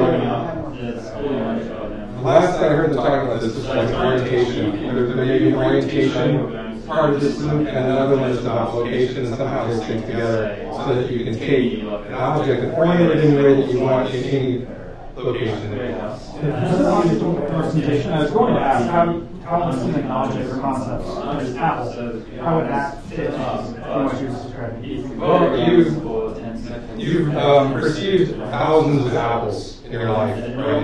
You- So you think of an apple, it's easy to do. You think you probably have like the quintessential example of a red apple or whatever in your head. So the idea, yeah, you can imagine touching the apple, you know what it feels like, you know what it tastes like, you know what it sounds like, you into it. You've got a representation of an apple all over your cortex. You, I mean, you, you've probably never done this before, but you know what what it would feel like you put it on the bottom of your foot. Because the, the cortical columns for, in the sensory part of your brain are modeling an apple. Even if they've never interacted directly with an apple, they can still model an apple. Um, so you've got an apple model all throughout your brain, and it's abstract enough that if you reached into a box and you didn't know what something was, and you grabbed the apple, you would almost immediately know what it was because all of that sensory, all of, you've grabbed an apple so many million times in your hand, um, it would it would snap to what feels like that in space. You know, there's only a few things, apple being one of them. So you say all across the brain, um, other ears just have like neural correlates whatever, like grandmother style or like a archetype examples. Yeah. Um, is that is it distributed in a different way? No, there's, so I don't think grandmother cells jive with this. Uh, that, that meaning that there's particular cells that activate in, for specific criteria, maybe not nothing else. I don't think. Appropriate, like, Yeah. you know, picture of Yeah. So I think that cell would be a Beyonce cell and a hundred other things. And, and they, they, when they find these grandmother cells, just because they're looking for one thing. But that cell probably activates for a hundred other things too, because it's all distributed. And so this, the apple, all the neurons that fire in your brain when you think about apple will fire in your brain when you think about other things. So then is the concept of the collection of, is there like a group of grandmother cells then? Is it together, the, the distributed activations is it like Uh, combined? No, I don't, I don't think so. I mean, so I think you can think of, I, I don't know, getting, I actually mentioned that uh, the, you know, example, apple, in fact, the, the, the fruit, uh, my apple, like, you never touched it before. Yeah. So the cones, or instead of the cones, setting of the fruit, Yeah. will just create some model of facing like apple. You not know that it's apple, but it's synchronizing with the other cones. Yeah. Knowing that this shape or this whatever temperature Yeah. is this. And you, you know before you put an apple on your foot that it's going to feel smooth and cold probably. And even if you never felt it, you know it's going to feel smooth and cold because you know how it feels to put things like an apple against your foot. So, So, so the, so the, so the apple, uh, the model of the apple is probably, I think it's probably not distribute all the, all the co- content, but in, in, in just the inner set of the cones, important to, to the knowledge that there is something in the world like apple Yeah. that exists uh, in, uh, in different lines. yeah, well, um, so I don't know how evenly it might be distributed through your cortex. But I, but I, but I do think that all of your cortical columns, for the most part, that are involved in any type of sensory processing or modeling all the objects that you're around. Like there, there are some parts of the, I don't understand a lot of the different parts of the cortex, like as well as the other two types do. So I don't want to talk out of turn. But, uh, the, but basically, thousand, that's the thousand brains theory that I'm trying to describe here is that they're all mon- they're all doing the same thing. You're something, no matter what sensory input you're getting, you're, you're, they're, they're modeling the same thing, an object in space. And so you have to intersect your sensor, no matter what sensor it is, your eye, with some object space, and map the sensory features onto that object space. That's what all the columns are. And as soon as this um, output flows are synchronized, so the knowledge is that you are the. Yeah. Yeah, well, most of the columns hopefully will identify it quickly, and then if they identify this as an, as an apple, they can pass up whatever representation or share whatever representation that that column has for apple. If they don't know what it is, they don't. Uh, this this is basically sort of like a group of features. They can share the group of fe- the sensory features that it sees, and maybe this guy will help put it together and share back what it thinks. Oh, I think that's an apple. You think that that feels like something that I felt before. That looks like an apple. So I an apple. And this one will update. Say, well, it must be an apple too. So how many layers are Six to twelve, depending on how you market them. There's six definite layers, but then there's different cell types in some of the layers. So some neuroscientists will call those different layers because they're doing a different function. In the. So like this, these specifically is like, there's a loop here, layer five, to layer six B, and, and layer two, three to layer six A. Those are the, these two cortical loops that we talk about in our papers.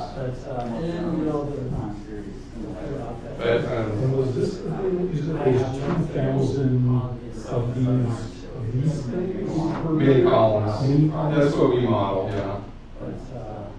And that's it. Sorry? No, I'll be okay. So have you seen these people who estimate how many, you know, terabytes of storage is in? Oh, no, don't get into that. You don't believe that? No, no, no. There's, there's so much redundancy. I mean, yeah, yeah, you could say that there's that much if you count every synapse and every connection, but that's not how your brain works. Your, your brain is super redundant. I mean, you can, you can go in and kill a bunch of your neurons and wake up the next day and you won't even notice. So, I mean, a lot of those pathways are completely redundant. Yeah. I mean, Thank you very much. You're welcome. Thanks for coming here. Maybe I will reach you uh, email on. Sounds good. Thank you. Thank you. You're welcome. You can take. Yeah, take them up. Take them up, guys. Um, just to get some over consideration, I have actually mined that data. Oh, just, I think you did just because we made so many simulations. Yeah, okay. All right, like all of our research is simulations. Uh, I'm trying to apply level of simulation. Uh, uh, well, some of them are, there's a lot of prototypes that are graphical, just to prove out things, but mostly they're, they end up making charts for papers. But, but our papers do have, we have a repository of HTM papers with, with code. I'm gonna head back to the city. Thanks for kicking this thing out. This is really fun. Great. I'm glad you got a copy. Yeah, I wasn't sure if that was some weird experiment you laid out for grids or something, or if it was actually just marketing. People like the cups, so. Yeah, no. I figured they'd all be gone. Oh, well, I gotta get mine. Yeah, go ahead. Yeah, thanks again for, for uh, You're welcome. Thanks for the idea. I'm glad, glad you brought it up because we haven't done this in a long time. Yeah. All right. I'm gonna. Paco's mad that they get, you guys get bugs. Yeah. Bye, you guys. I think I'm going to shut this off. It's 10 o'clock here, so everybody take care. Um, I, I think I'm streaming Friday. Take care.